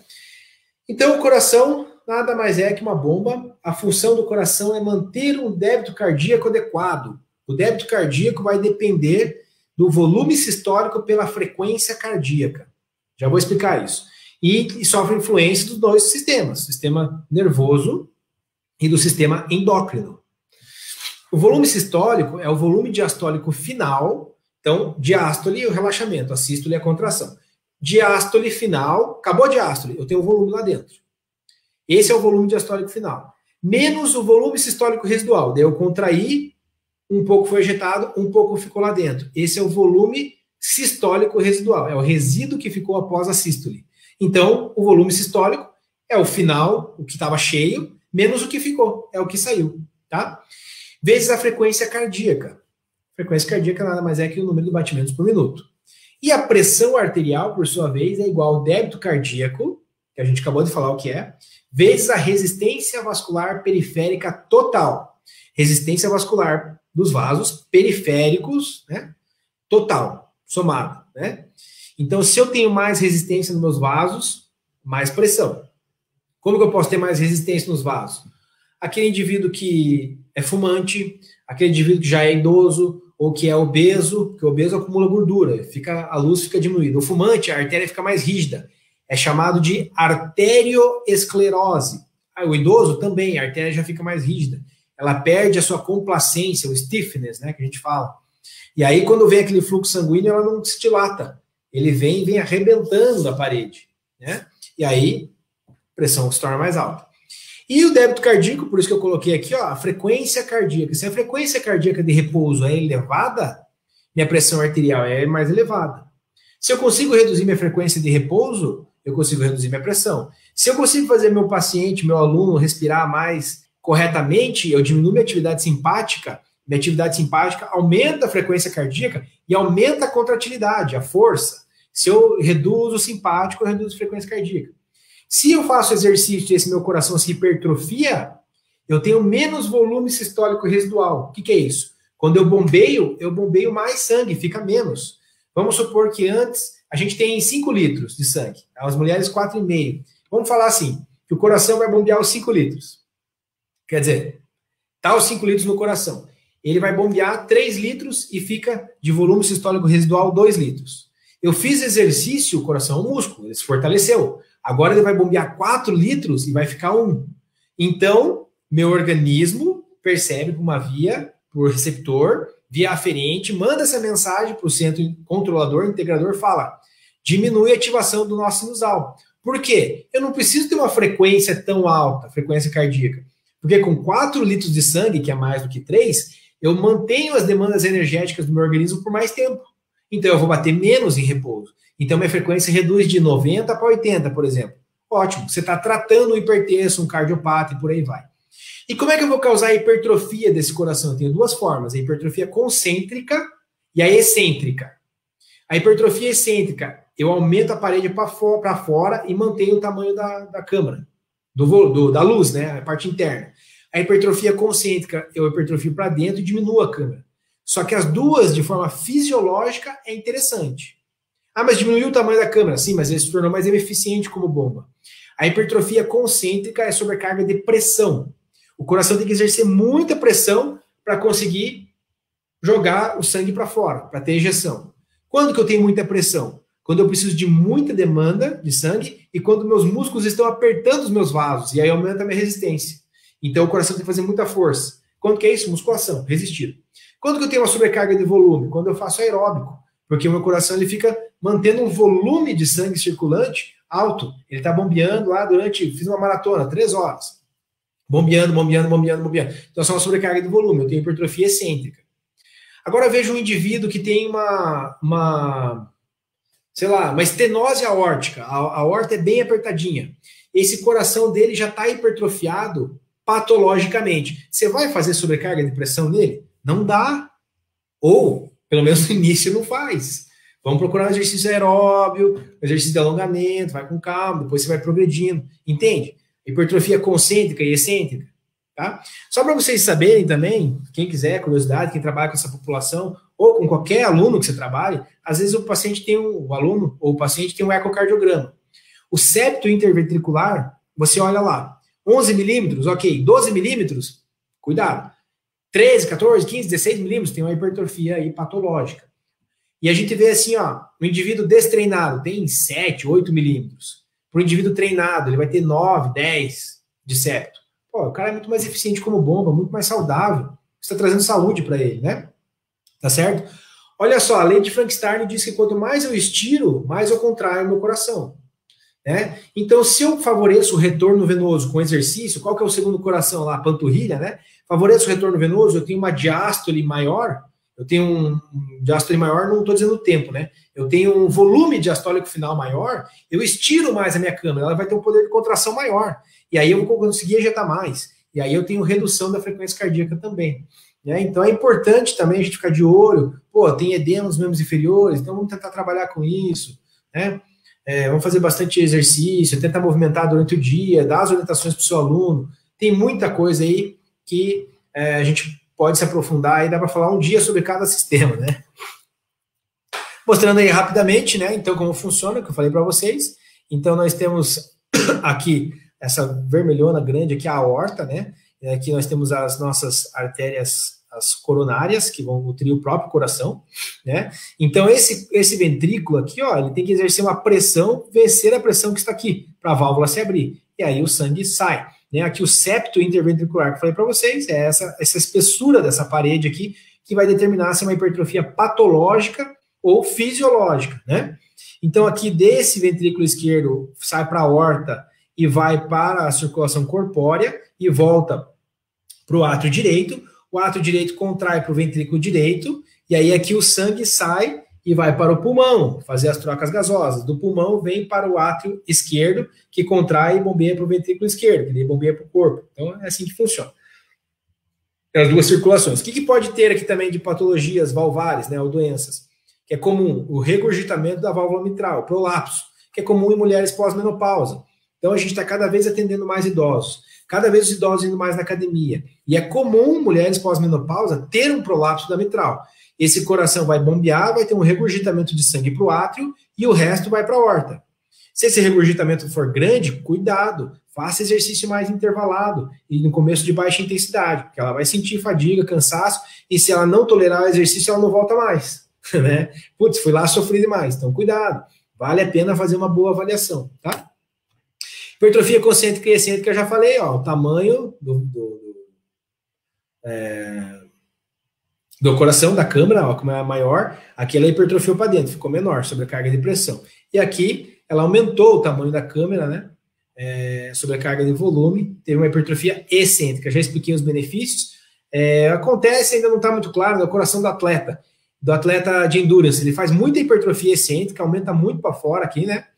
Aí depois que ele para, aposentou, ele vai perder essa massa muscular, porque não usa, perde. E a câmera fica dilatada. Aí perde aquele mecanismo de Frank Starling, porque a câmera está dilatada, uma bexiga frouxa, né? Pensa nisso. E daí isso é prejudicial. Tá? Então tem que ficar atento também com isso. Acontece, é o coração de atleta, né? acontece em alguns. Ou o coração fica tão grande que também começa a ficar apertado na caixa torácica e o pericárdio começa a pressionar também. É, é... Então aqui, ó, da mesma forma que acontece no músculo esquelético, a hipertrofia em paralelo é o aumento da área de secção transversa. A hipertrofia em série é o aumento do comprimento do músculo. Isso que vocês estão vendo, esse desenho maravilhoso que eu fiz no PowerPoint, é um sarcômero, tá? Isso aqui é as, as cabeças da miosina e esse filamento vermelho aqui é a actina, tá? Então, hipertrofia em série e paralela acontece no músculo esquelético, como também acontece no músculo cardíaco, tá? Sistema endócrino no exercício, então, pessoal, sistema endócrino é aquela regulação de longo prazo, duradoura, sistêmica, cai o hormônio na corrente sanguínea, quem tiver receptor para ele vai vai vai ter, vai responder, né, a ele. E aqui eu trouxe só esse exemplo do, do livro Silverthorne, é um livro de fisiologia muito ilustrado, excelente livro, tá? Quem quiser comprar, é, eu recomendo assim, de fisiologia, o Silverthorne é o mais fácil de entender, né? Tá? Então aqui a gente tem, ó, hipotálamo. O hipotálamo produz alguns hormônios. A hipófise a gente tem a anterior e a posterior. Esses aqui são da adenohipófise, né, anterior. E depois a gente tem os órgãos, ou glândulas alvos, que vão secretar alguns hormônios, né? Então vamos ver aqui, ó. A gente tem hormônios hipotalâmicos, que tem aquele sistema porta, que está aqui, ó, sistema portal, né? Ele já vai direto para a hipófise, tá? Então, por exemplo, PRH, hormônio liberador da prolactina. Por que PRH? Prolactin Release Hormone, né? Ele vai estimular a produção de prolactina, que vai estimular lá no, no seio, né? É, a produção de leite. O TRH é tireoide, é, release hormone, né? Aí o TSH é hormônio é, tiroestimulante, hormônio tiroestimulante, que vai estimular a glândula tireoide a produzir os hormônios, tá? Então, como é que a gente vê isso aqui também? Às vezes você pega um exame, fala, pô, o T3 e o T4 do indivíduo tá alto mas o. Desculpa, o T3 e o T4 do indivíduo está baixo. É, mas o TSH está alto. Eu posso ter o T3 e o T4 baixo e o TSH baixo. Então, se o T3 e o T4 está baixo, pode ser que o TSH esteja baixo, então eu não estou produzindo TSH suficiente para minha glândula tireoide produzir o T3 e T4. Mas eu posso ter muito TSH e ter pouco T3 e T4. Então, onde que é o problema? O problema está aqui, na glândula. Porque eu estou liberando, como feedback, é, mecanismo de feedback, não sei se todo mundo lembra disso, eu tenho pouco hormônio circulante. O meu organismo percebe disso, isso, ele tem o set point, eu preciso aumentar. Então, por feedback, eu vou estimular a produção aqui. Então, eu tenho muito TSH, está muito, está estimulando muito TSH porque está baixo T3 T4. Só que não está funcionando a tireoide, então não vai ter aumento de T3 T4. Agora, se o TSH está baixo e o T3 T4 está baixo, pode procurar nível superior, que um, um tumor hipotalâmico, ou próprio hipofisário, pode procurar coisa tipo assim. Ou outra disfunção, né? Não estou dizendo que necessariamente é um tumor, tá? CRH, é, corticotrofina release hormone, né? Hormônio liberador da corticotrofina. Vem do hipotálamo, que vai estimular é, na na hipófise o hormônio adrenocorticotrófico, que vai lá no córtex da adrenal liberar o cortisol. Então, podem ver aqui que vai atuar em vários tecidos. Daí vai para a corrente sanguínea e atua sistêmico, né? O GHRH, né, o hormônio liberador do hormônio do crescimento, estimula a liberação do GH. Opa! A liberação do GH, né? O hormônio do crescimento ele é liberado pela hipófise. Ótimo. O hormônio do crescimento ele é liberado em quais circunstâncias? Com o crescimento, né? obviamente, fase de maturação, a gente começa a aumentar a sua produção. A gente libera com a lactacidemia. Quanto maior a lactacidemia ou maior a acidose, mais a liberação do GH. Tá? Uma resposta. E a gente também, é, o GH ele vai, ter um, vai atuar no fígado, vai liberar somatomedinas como IGF-1, que vocês já devem conhecer. Quem estuda hipertrofia com certeza conhece o IGF-1 que é IGF significa hormônio similar à insulina, mas ele não tem nada a ver com a insulina, ele faz de, de ação, né? Ele só porque a, a, sua composição de aminoácidos era parecida. E aí ele tem um trabalho extremamente importante na hipertrofia e na hiperplasia, que é o aumento do número de células, porque ele atrai células satélites, ele é capaz de criar novas células, né? Tá certo? E se ele cria novas células muscular, essa tua unidade motora, um neurônio inerva algumas algumas fibras musculares, algumas células. Isso é uma unidade motora. Se você aumenta a célula, essa unidade motora ficou mais interessante. Você vai ter um, um músculo, uma unidade motora, um músculo mais coordenado, uma coordenação intramuscular melhor, né? Então o GH ele é estimulado com grandes grupos musculares, lactacidemia, né, alta acidose, tá? Ok? É... Ia comentar alguma coisa aqui do GH, mas enfim, já lembro. O GNRH hormônio liberador das gonadotrofinas vem lá do hipotálamo, vai atuar na adenipófise, liberando o hormônio folículo estimulante e o hormônio luteinizante, que daí né, são as gonadotrofinas, né? E aí vão estimular nos, nossos órgãos né, no ovário das mulheres e nos testículos dos homens a produção de estrogênio, progesterona e testosterona, né? Os andrógenos, os andrógenos, né? É... Não significa que mulher não tem testosterona, né? A suprarrenal produz um pouquinho de testosterona na mulher, né? Que é 10 vezes menor que o homem, tá? Então a testosterona também é liberada com é, exercícios de grandes grupos musculares, né? Quanto maior a intensidade, 80, 80, acima de 85% e alta intensidade, né? A gente liberar a testosterona.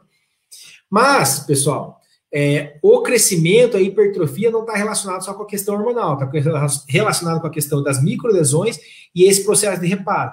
Então, eu falei para vocês que os treinos metabólicos também geram uma hipertrofia parecida com o treino tensional? Sim, é o que o estudo do Schoenfeld, não só esse estudo, outros também trazem isso. Inclusive, se você fizer um estímulo metabólico que vai causar uma lactacidemia ou acidose, você pode aumentar o teu GH. E se você vai ter bastante ruptura de fibra, esse processo de reparo dessas fibras também vai ser importante para a hipertrofia, né?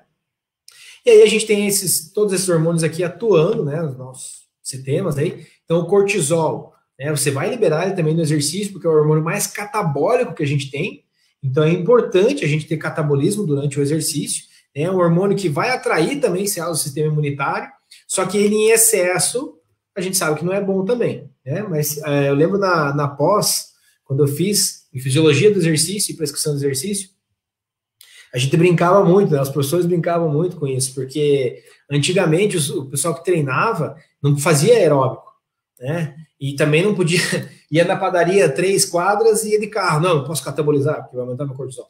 É, e não fazia aeróbico. Já é provado, pessoal, que aeróbico não cataboliza nada, a não ser que você vai fazer um Ironman sem comer nada, né? Lógico. Mas você fazer um treino de musculação e fazer um aeróbico para manter ali tua, tua função cardiopulmonar, não vai catabolizar, não vai ser competidor. Inclusive, o aeróbico também tem uma ativação da MPK e, enfim, os processos lá, né? A gente pode mostrar em artigos também. Mas não estou dizendo também que você tem que fazer aeróbico. Se você fizer o HIT, tem vários estudos que mostram que o HIT melhora mais o VO2 do que o aeróbio. Ah, mas melhora mais.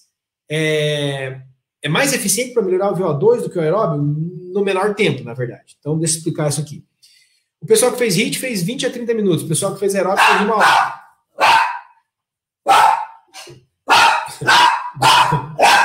Ei! Desculpa, meu, meu cachorro aqui. É, então, quando o pessoal que faz 20 a 30 minutos, eles conseguiram os mesmos resultados, ou, ou até superior, né, do que quem faz uma hora de contínuo. Então, não significa que um é melhor que o outro, mas você consegue no menor tempo. É igual emagrecimento, dois emagrecem. Só que o HIT, você é time efficient. Quanto maior a intensidade, mais é eficiente você é. Né? Então, é time efficient. Tá? Desculpa só o cachorro aqui.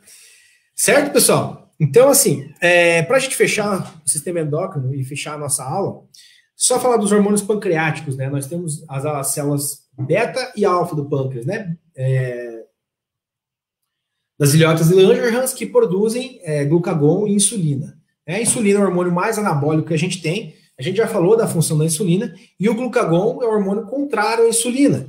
Né? O glucagon é o hormônio que ele quer ajudar a quebrar o glicogênio, ativar a glicogênio fosforilase lá para quebrar o glicogênio, para a gente liberar, é, ter mais glicose disponível. E a insulina, pessoal, ela é inibida pela adrenalina. Então, durante uh, o processo aí de, de, exercício, que eu tenho um aumento da adrenalina, eu tenho um aumento da ativação da lipase hormônio sensível, tenho mais lipólise, eu tenho uma inibição da secreção da minha insulina, que é o hormônio mais anabólico, que é guardar né? E aí, então, durante o exercício, a captação de glicose ela se dá para um outro processo. Por isso que aquele indivíduo que não tem insulina, ou produz pouca, ou tem resistência à insulina, fantástico fazer exercício. Tem que fazer exercício. E de preferência, com mais intensidade, vai ser mais eficiente. Né? Então, pessoal, é, a gente tem bastante coisa para falar de, de todos esses sistemas. Né? Eu tentei linkar todos os sistemas um com o outro e trazer uma aplicação prática disso. Nem falei do hormônio da tireoide aqui, o hormônio da tireoide ele influencia todos os sistemas. O hormônio da tireoide é um hormônio que ele atravessa a membrana e atravessa a membrana nuclear e vai atuar direto no núcleo, produzindo proteínas específicas. E só tem um ponto que eu queria deixar para vocês aqui, que o hormônio da tireoide ele é, ele é aumentado, principalmente o T4, a gente observa em exercício aeróbio, a 70% do VO2 máximo, aproximadamente. Então, ah, também estão condenando o aeróbio. Então, se você tem uma desregulação, talvez valha a pena fazer. Ah, mas ele é hipotiroideu e toma o medicamento. Perfeito, está regularizado, é só ver o exame lá, tá tudo ok, tá? Não tem, não tem crise. Mas se ele tem uma diminuição do hormônio da tireoide, o seu hormônio de tireoide está baixo, o metabolismo vai ficar mais lento, é isso que vai engordar, ganhou 20 quilos. Não, não. No meu mestrado, eu peguei ratos, a gente induziu o hipotiroidismo e pegou os ratos normais lá, e a gente viu, a, a, depois de. Também não foi tanto tempo, né? Foi seis, seis ou oito semanas. A gente pesou eles e transpondo isso para o ser humano, davam 5 quilos, tá? O que acontece é que com hipotiroidismo, você vê que o metabolismo, além de ficar mais lento, mas você fica mais é, cansado, daí fica mais intolerante ao esforço, várias coisas vão somando, daí você acaba comendo mais, mais depressivo e por aí vai. Né? Mas dizer que só o hipotiroidismo que causa esse aumento de, de, de gordura, de peso, não. É todo o comportamento, o estilo de vida que esse indivíduo leva, tá? E, enfim, é, o hormônio da tireoide atua no coração também, tá? Ele influencia muito no relaxamento. O, o tempo da diástole fica aumentado. Se eu demoro para relaxar o meu coração, eu vou demorar para contrair, né? Então eu fico com menos demanda para fazer exercício, fico mais intolerante ao esforço. Então, se você tiver um indivíduo que está com os hormônios da tireoide baixo, pede para ir logo lá no, no, no médico, no endocrinologista, para regular isso daí, porque você vai ver bastante diferença no treinamento. Diferença de ganho de performance, de ganho de massa, porque ele vai conseguir treinar melhor, vai conseguir comer melhor, tem que, tem que regular. Tá? Eu não sou muito a favor aí da reposição hormonal quando os níveis estão dentro dos valores recomendados, mas a reposição hormonal quando os níveis estão fora, sim. E aí investiga lá, né, para ver a causa, né, como a gente falou, hipotalâmica, hipofisária, enfim. Então, pessoal, só para finalizar, a gente entendendo a base, a gente consegue entender o resto, né? Aí a gente faz uma avaliação, já fica mais claro de entender o que, que é um lactato, pega o lactímetro lá, mede. Você vai para academia, leva um lactímetro, começa a mensurar lá, você já consegue entender melhor. Se teu cliente está chegando onde você quer, onde você não quer, porque frequência cardíaca é muito variável, né? Controlar a intensidade de frequência cardíaca, a gente sabe que Pega um indivíduo que toma beta-bloqueador, bloqueador de cálcio. Tem indivíduos que têm uma, uma síndrome vasovagal. Tem indivíduos que têm uma frequência cardíaca, o cara super treinado tem uma frequência cardíaca de repouso de 90 e pouco. Então, controlar a frequência cardíaca é complicado, tá? É, que mais? você consegue prescrever com mais qualidade também, né, sendo mais específico. Já deu o caso do Zen Bolt, que eu falei para vocês. É, enfim, tem várias aplicações práticas. Eu quero deixar uns minutinhos aqui para as perguntas, né? Sempre gosto de deixar essa mensagem, né? Eu tô ultimamente estou usando mais essa mensagem do Hunter Doherty, que é um médico, né, que inspirou o Pat Adams, aquele filme. E ele fala assim, né, que a cuidar de uma doença você pode ganhar ou perder. A cuidar de uma pessoa você sempre vence. Então eu sempre deixo essa mensagem porque às vezes a gente olha para o paciente como um joelho, como um cardiopata, olha para o aluno como crescendo um peitoral, um bíceps, enfim. E eu acho que o pessoal do treinamento funcional tem muito essa visão é, do movimento, essa visão, essa visão integrada. O pessoal da do Fit faz muito esse trabalho. Eu admiro muito isso, né? Porque eu penso na mesma linha. A gente pensar no todo, a gente cuidar da pessoa, não ficar pensando só na doença, ou só no local, ou só. Né? Não adianta eu hipertrofiar uma região se eu estou vendo que ele está insuficiente em outra região, se estou vendo que vai prejudicar, né? Eu, o cara quer agachar com 300 quilos, mas o cara tem um acetábulo profundo, vai causar impacto naquele quadril, então sabe? A gente tem que pensar no todo. Eu não tenho mobilidade de tornozelo para agachar, então eu acho isso bem importante. É, eu sei que eu falo bastante, deve ter bastante dúvida, porque é um assunto profundo, complexo. A gente entrou muito na parte celular também, mas eu quis mostrar um pouco como todo esse, esse mundo traz explicações para a gente, né? Interessantes. Até assim, ó, pessoal. É, eu tinha uma. O último caso que eu quero contar, eu tinha uma, uma aluna na academia né, de personal, ela tinha uma hernia de disco. E, e ela foi no consultar com, com cervical, com um médico, um neurologista em São Paulo, super renomado. E aí o cara passou para ela alguns suplementos, riboflavina, é, coenzima Q10. Eu falei, cara, o que, que, tem a ver, né? Daí eu fui ver a coenzima Q10 e riboflavina, eu sabia, né, que tinha aqueles processos do, da cadeia transportadora de elétrons lá, né? Então, qual é a ideia, né? Além de ter outros benefícios, é a gente tentar favorecer o processo de, de síntese de energia, né? E a gente sabe que a energia é importante tanto para a contração quanto para o relaxamento. E um indivíduo que é muito tenso e não relaxa, ele comprime as suas vértebras, né? A hérnia, comprime o nervo e gera todo esse processo.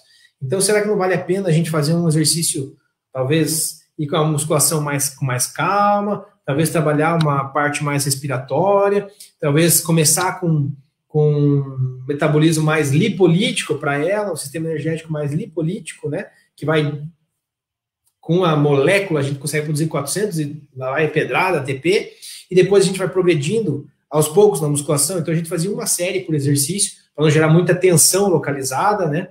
Então uma série por exercício, depois a gente passou para duas séries por exercício, aí a gente passou para duas séries e, dupli, e daí faz dois exercícios por mesmo grupo muscular, e assim foi progredindo. Existem milhares de formas, né? Para aumentar isso, a intensidade, em vez de aumentar a carga, aumenta a amplitude, faz o exercício mais lento e por aí vai. Como eu mostrei, tem resultados na literatura que o exercício metabólico também traz é, benefícios hipertróficos, né? Meus contatos, para quem quiser aí conhecer a gente, seguir, é, se aprofundar mais nessa loucurada toda aí, meu Instagram é arroba Bruno Aldenucci, ou Aldenucci, como vocês quiserem chamar dois Cs e um I ali, né? Meu site, brunoaldenucci.com, e-mail eu deixei para vocês também, aqui em Curitiba, né? Nosso, nosso, nosso prefixo aqui é 41, tá aí meu WhatsApp, quem quiser entrar em contato, pedir material, a gente demora um pouco para responder, mas responde, né? Porque tem a faculdade, tem a pós, tem os cursos, tem o estúdio, que tá aí o telefone embaixo, quem quiser conhecer também. Às vezes tem, até tem alguém aí da, daqui do Paraná assistindo a gente, então é, pode entrar em contato com a gente lá, quem quiser conhecer. E agora fico à disposição para as dúvidas. Pra, agradeço bastante, né? Deixa eu só voltar aqui. Agradeço bastante o, o convite, né? E a gente encerra então essa apresentação da fisiologia aplicada à prática. Grande Bruno! Cara, parabéns que olha, é, não é fácil juntar todo esse conteúdo aí em 90, 100 minutos, né? É, não. Mas tu conseguiu. Assim, é, só mais uma fala aqui, né? Eu começo a me empolgar, falo demais. Uma coisa assim que, que é difícil, André, da fisiologia, é que nunca foi me falado como que isso poderia ser aplicado na prática e como que um sistema se relaciona com o outro. A gente aprende os sistemas separados lá, né, na graduação, é, um por vez, e cara, e na pós, na pós também, uma aula era de imune, outra aula era de neuro, outra... cara, pá, né? Daí eu, eu comecei a, vamos relacionar isso e como que um influencia no outro na prática. Tentei isso passar um pouco aí, como você falou, né? né? Faz todo é. sentido, né? É, é igual, isso acontece muito também, não só no estudo né, da fisiologia, mas acontece muito, por exemplo, eu tinha um, um aluno que estava fazendo um, um, tratamento do quadril, né, com lesão de impacto, e estava com. A, era hipertenso, era diabético, ele precisava fazer um, um, trabalho de perda de peso, e aí foi no, foi no médico, mas disse assim: olha, você precisa fazer mais caminhadas. Aí foi no ortopedista, ele falou: tu não pode caminhar, né, porque tem um quadril. Aí eu vai no outro médico e vai assim, olha, se tu caminhar, tu entendeu? É, é, como você falou, eu achei muito legal a frase, se você tratar uma doença, você pode ganhar ou perder, mas tratar a pessoa, fazer o entendimento, e muitas vezes nós, é, é, claro que vocês também da fisioterapia, mas a fisioterapia, digamos, ela é mais pontual do que a educação física, né? Ela, tipo, geralmente o cara procura um fisioterapeuta com dor no ombro, né? É. Mas o educador físico, o profissional da educação física, ele muitas vezes tem que fazer essa análise do macro, né? Tá, tu tem hipertensão, tu tem diabetes, tu tem um quadril que está impactando, tu tem um tornozelo que não. Cara, olha, olha o tamanho do conhecimento é. que, tem, que, que nós temos que ter, né? Como profissionais do movimento, né? É, e assim, os dois profissionais, tanto o físico quanto o educador, o profissional de educação física, são profissionais da saúde. Mas, cara, o profissional da educação física, o personal, enfim, ele está direto com o seu cliente. E ele está vendo as alterações que podem aparecer na saúde ou como melhorar a saúde. O físico, como você falou, é mais pontual. Assim, o físico ele vem com dor no ombro? Sim. Qual que é a causa de dor no ombro? Tem que olhar o todo. Pode ser não, lógico, né? Lógico, né? Mas enfim. Mas assim, agora o profissional de educação física está direto, porque você vê duas vezes por semana, três vezes por semana, todo dia, uma vez por semana, não sei. Mas você está vendo direto, está acompanhando. Aí você vê esse teu cliente, que ele tá, tem altos e baixos, o cara tá bem, depois está depressivo, não sei o quê. E a gente é profissional de saúde, a gente tem que é, entender essa parte fisiológica e, e promover a saúde, né? A gente é responsável por eles. É, é, aquele modelo, né? é, aquele, é aquele modelo biopsicossocial, né? Bio, psico e social, para entender o contexto de onde tu está indo trabalhar, que isso interfere diretamente na parte hormonal, na parte celular, a parte, enfim, é muito grande, é, né, cara?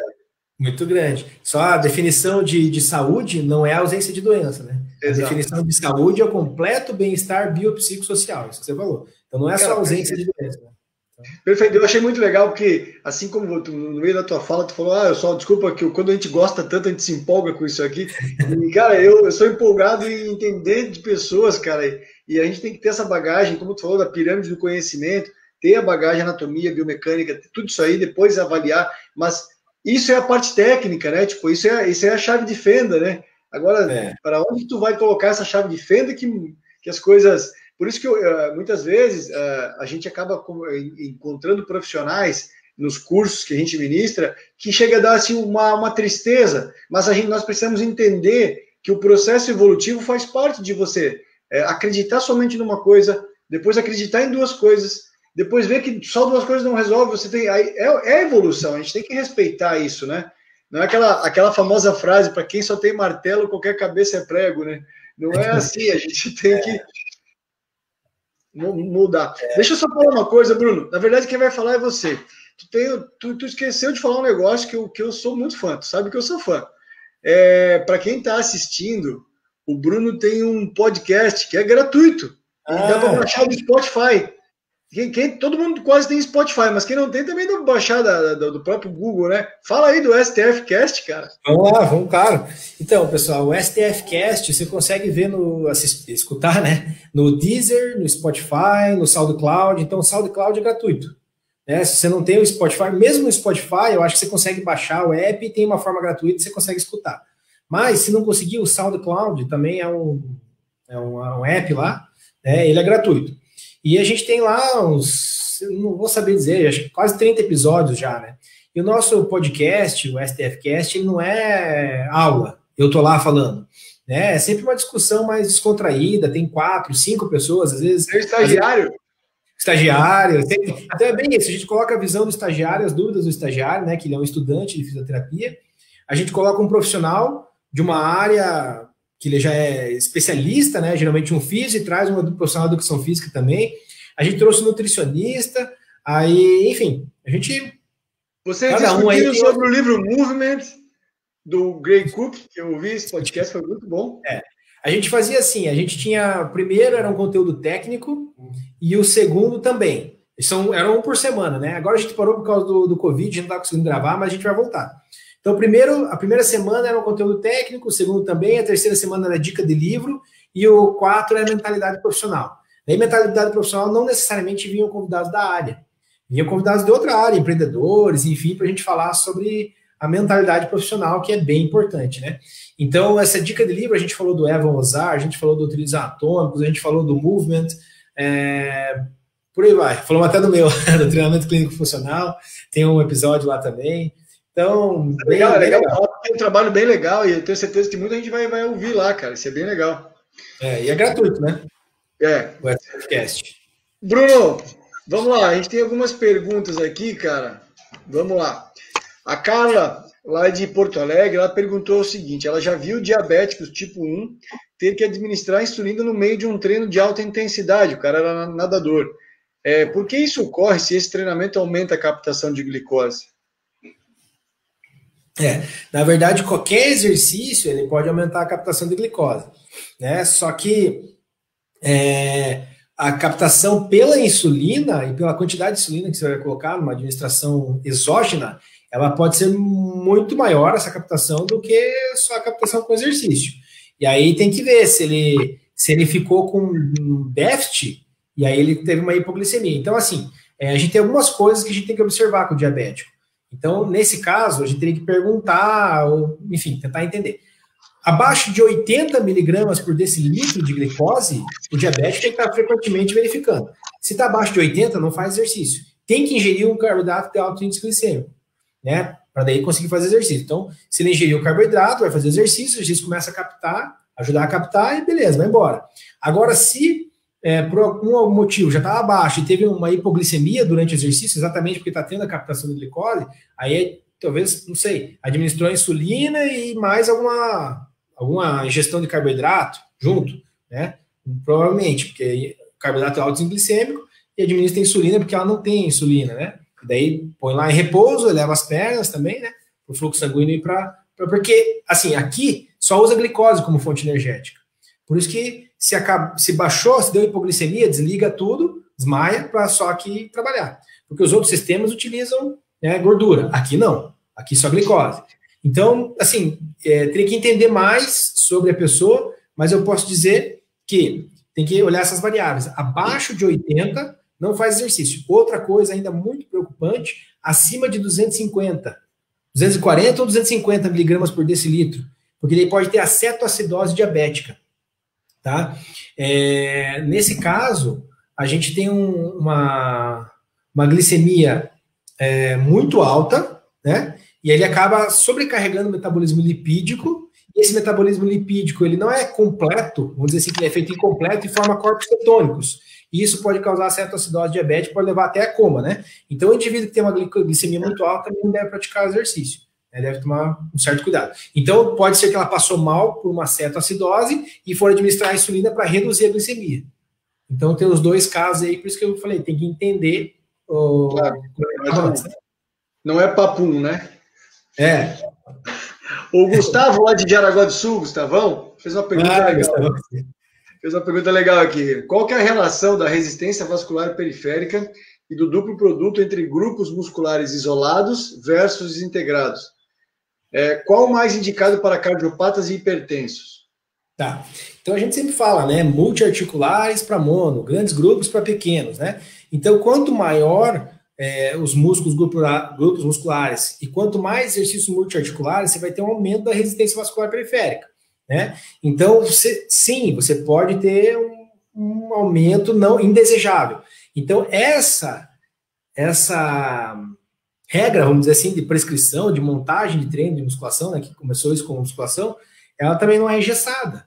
Então, se você pegar um indivíduo de risco, você vai ter que fazer talvez exercício monoarticular ou grupo muscular isolado. Talvez seja mais interessante, exercício sentado. Só que você tem que também, de novo, avaliar a hipertensão dele. Que hipertensão, estágio 1, 140, é...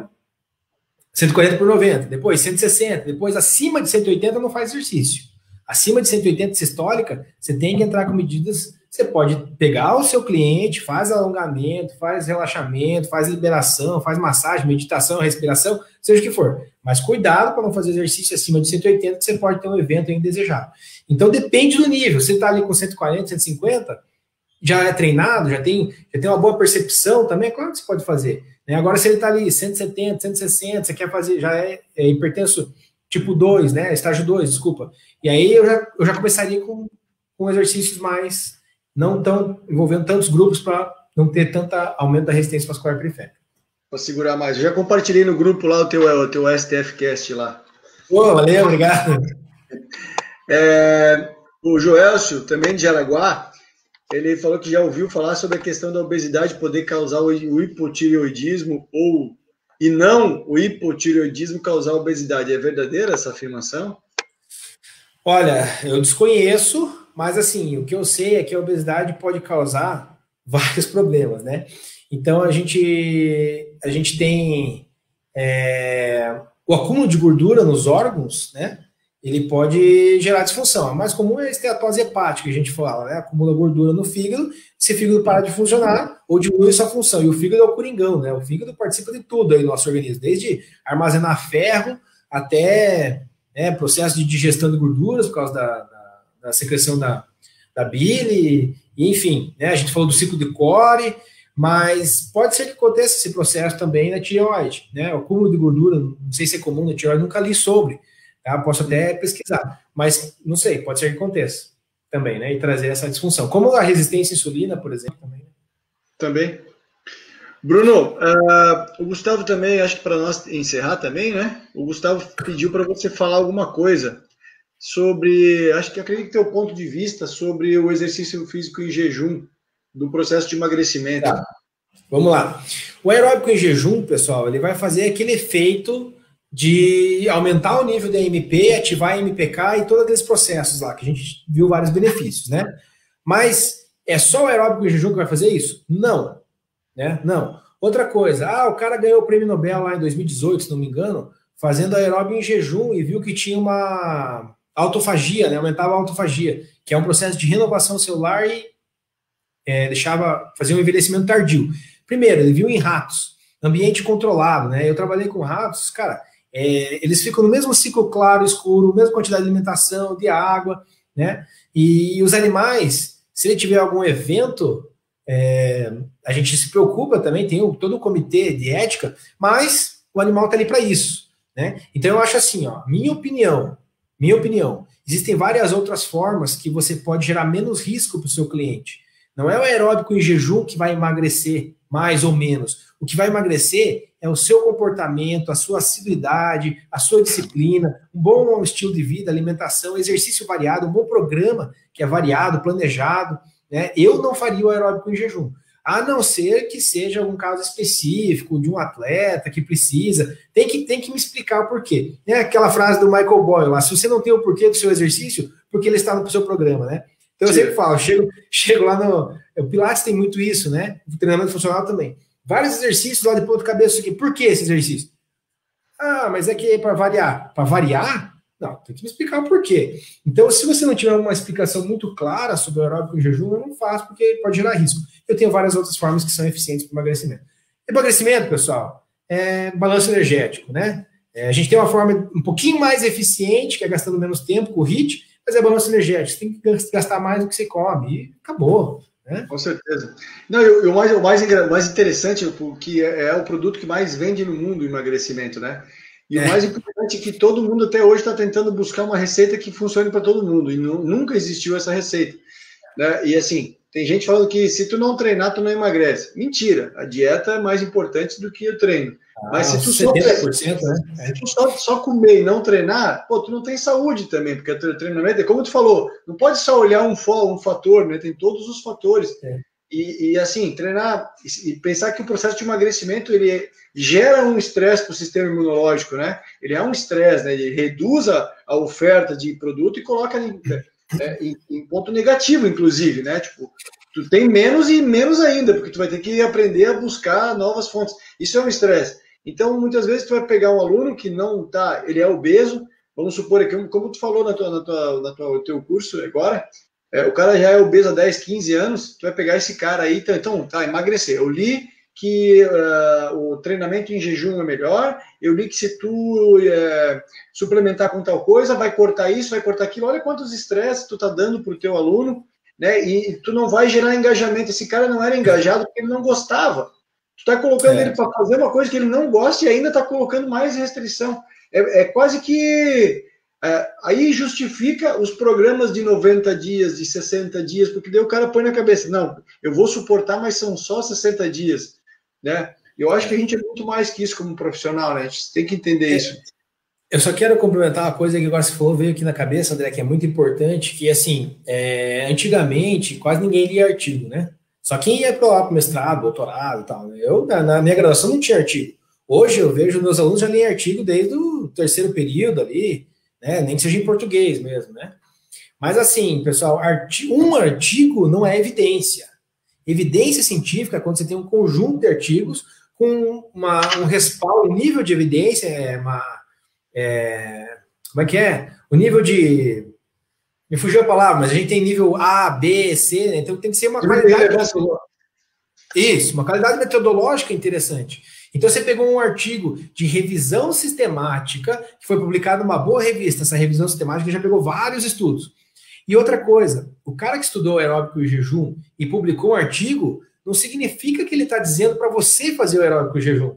Né? E muitas vezes a gente acha, não, mas o cara defende. Não é que o cara defende, o cara está estudando para entender mais a fisiologia, para entender mais, talvez, uma possibilidade lá na frente. Não quer dizer que com um artigo ele quer resolver o problema. E nós, profissionais, muitas vezes fazemos isso. Pegamos um artigo e falamos, ah, vamos resolver o problema agora porque o jejum resolve.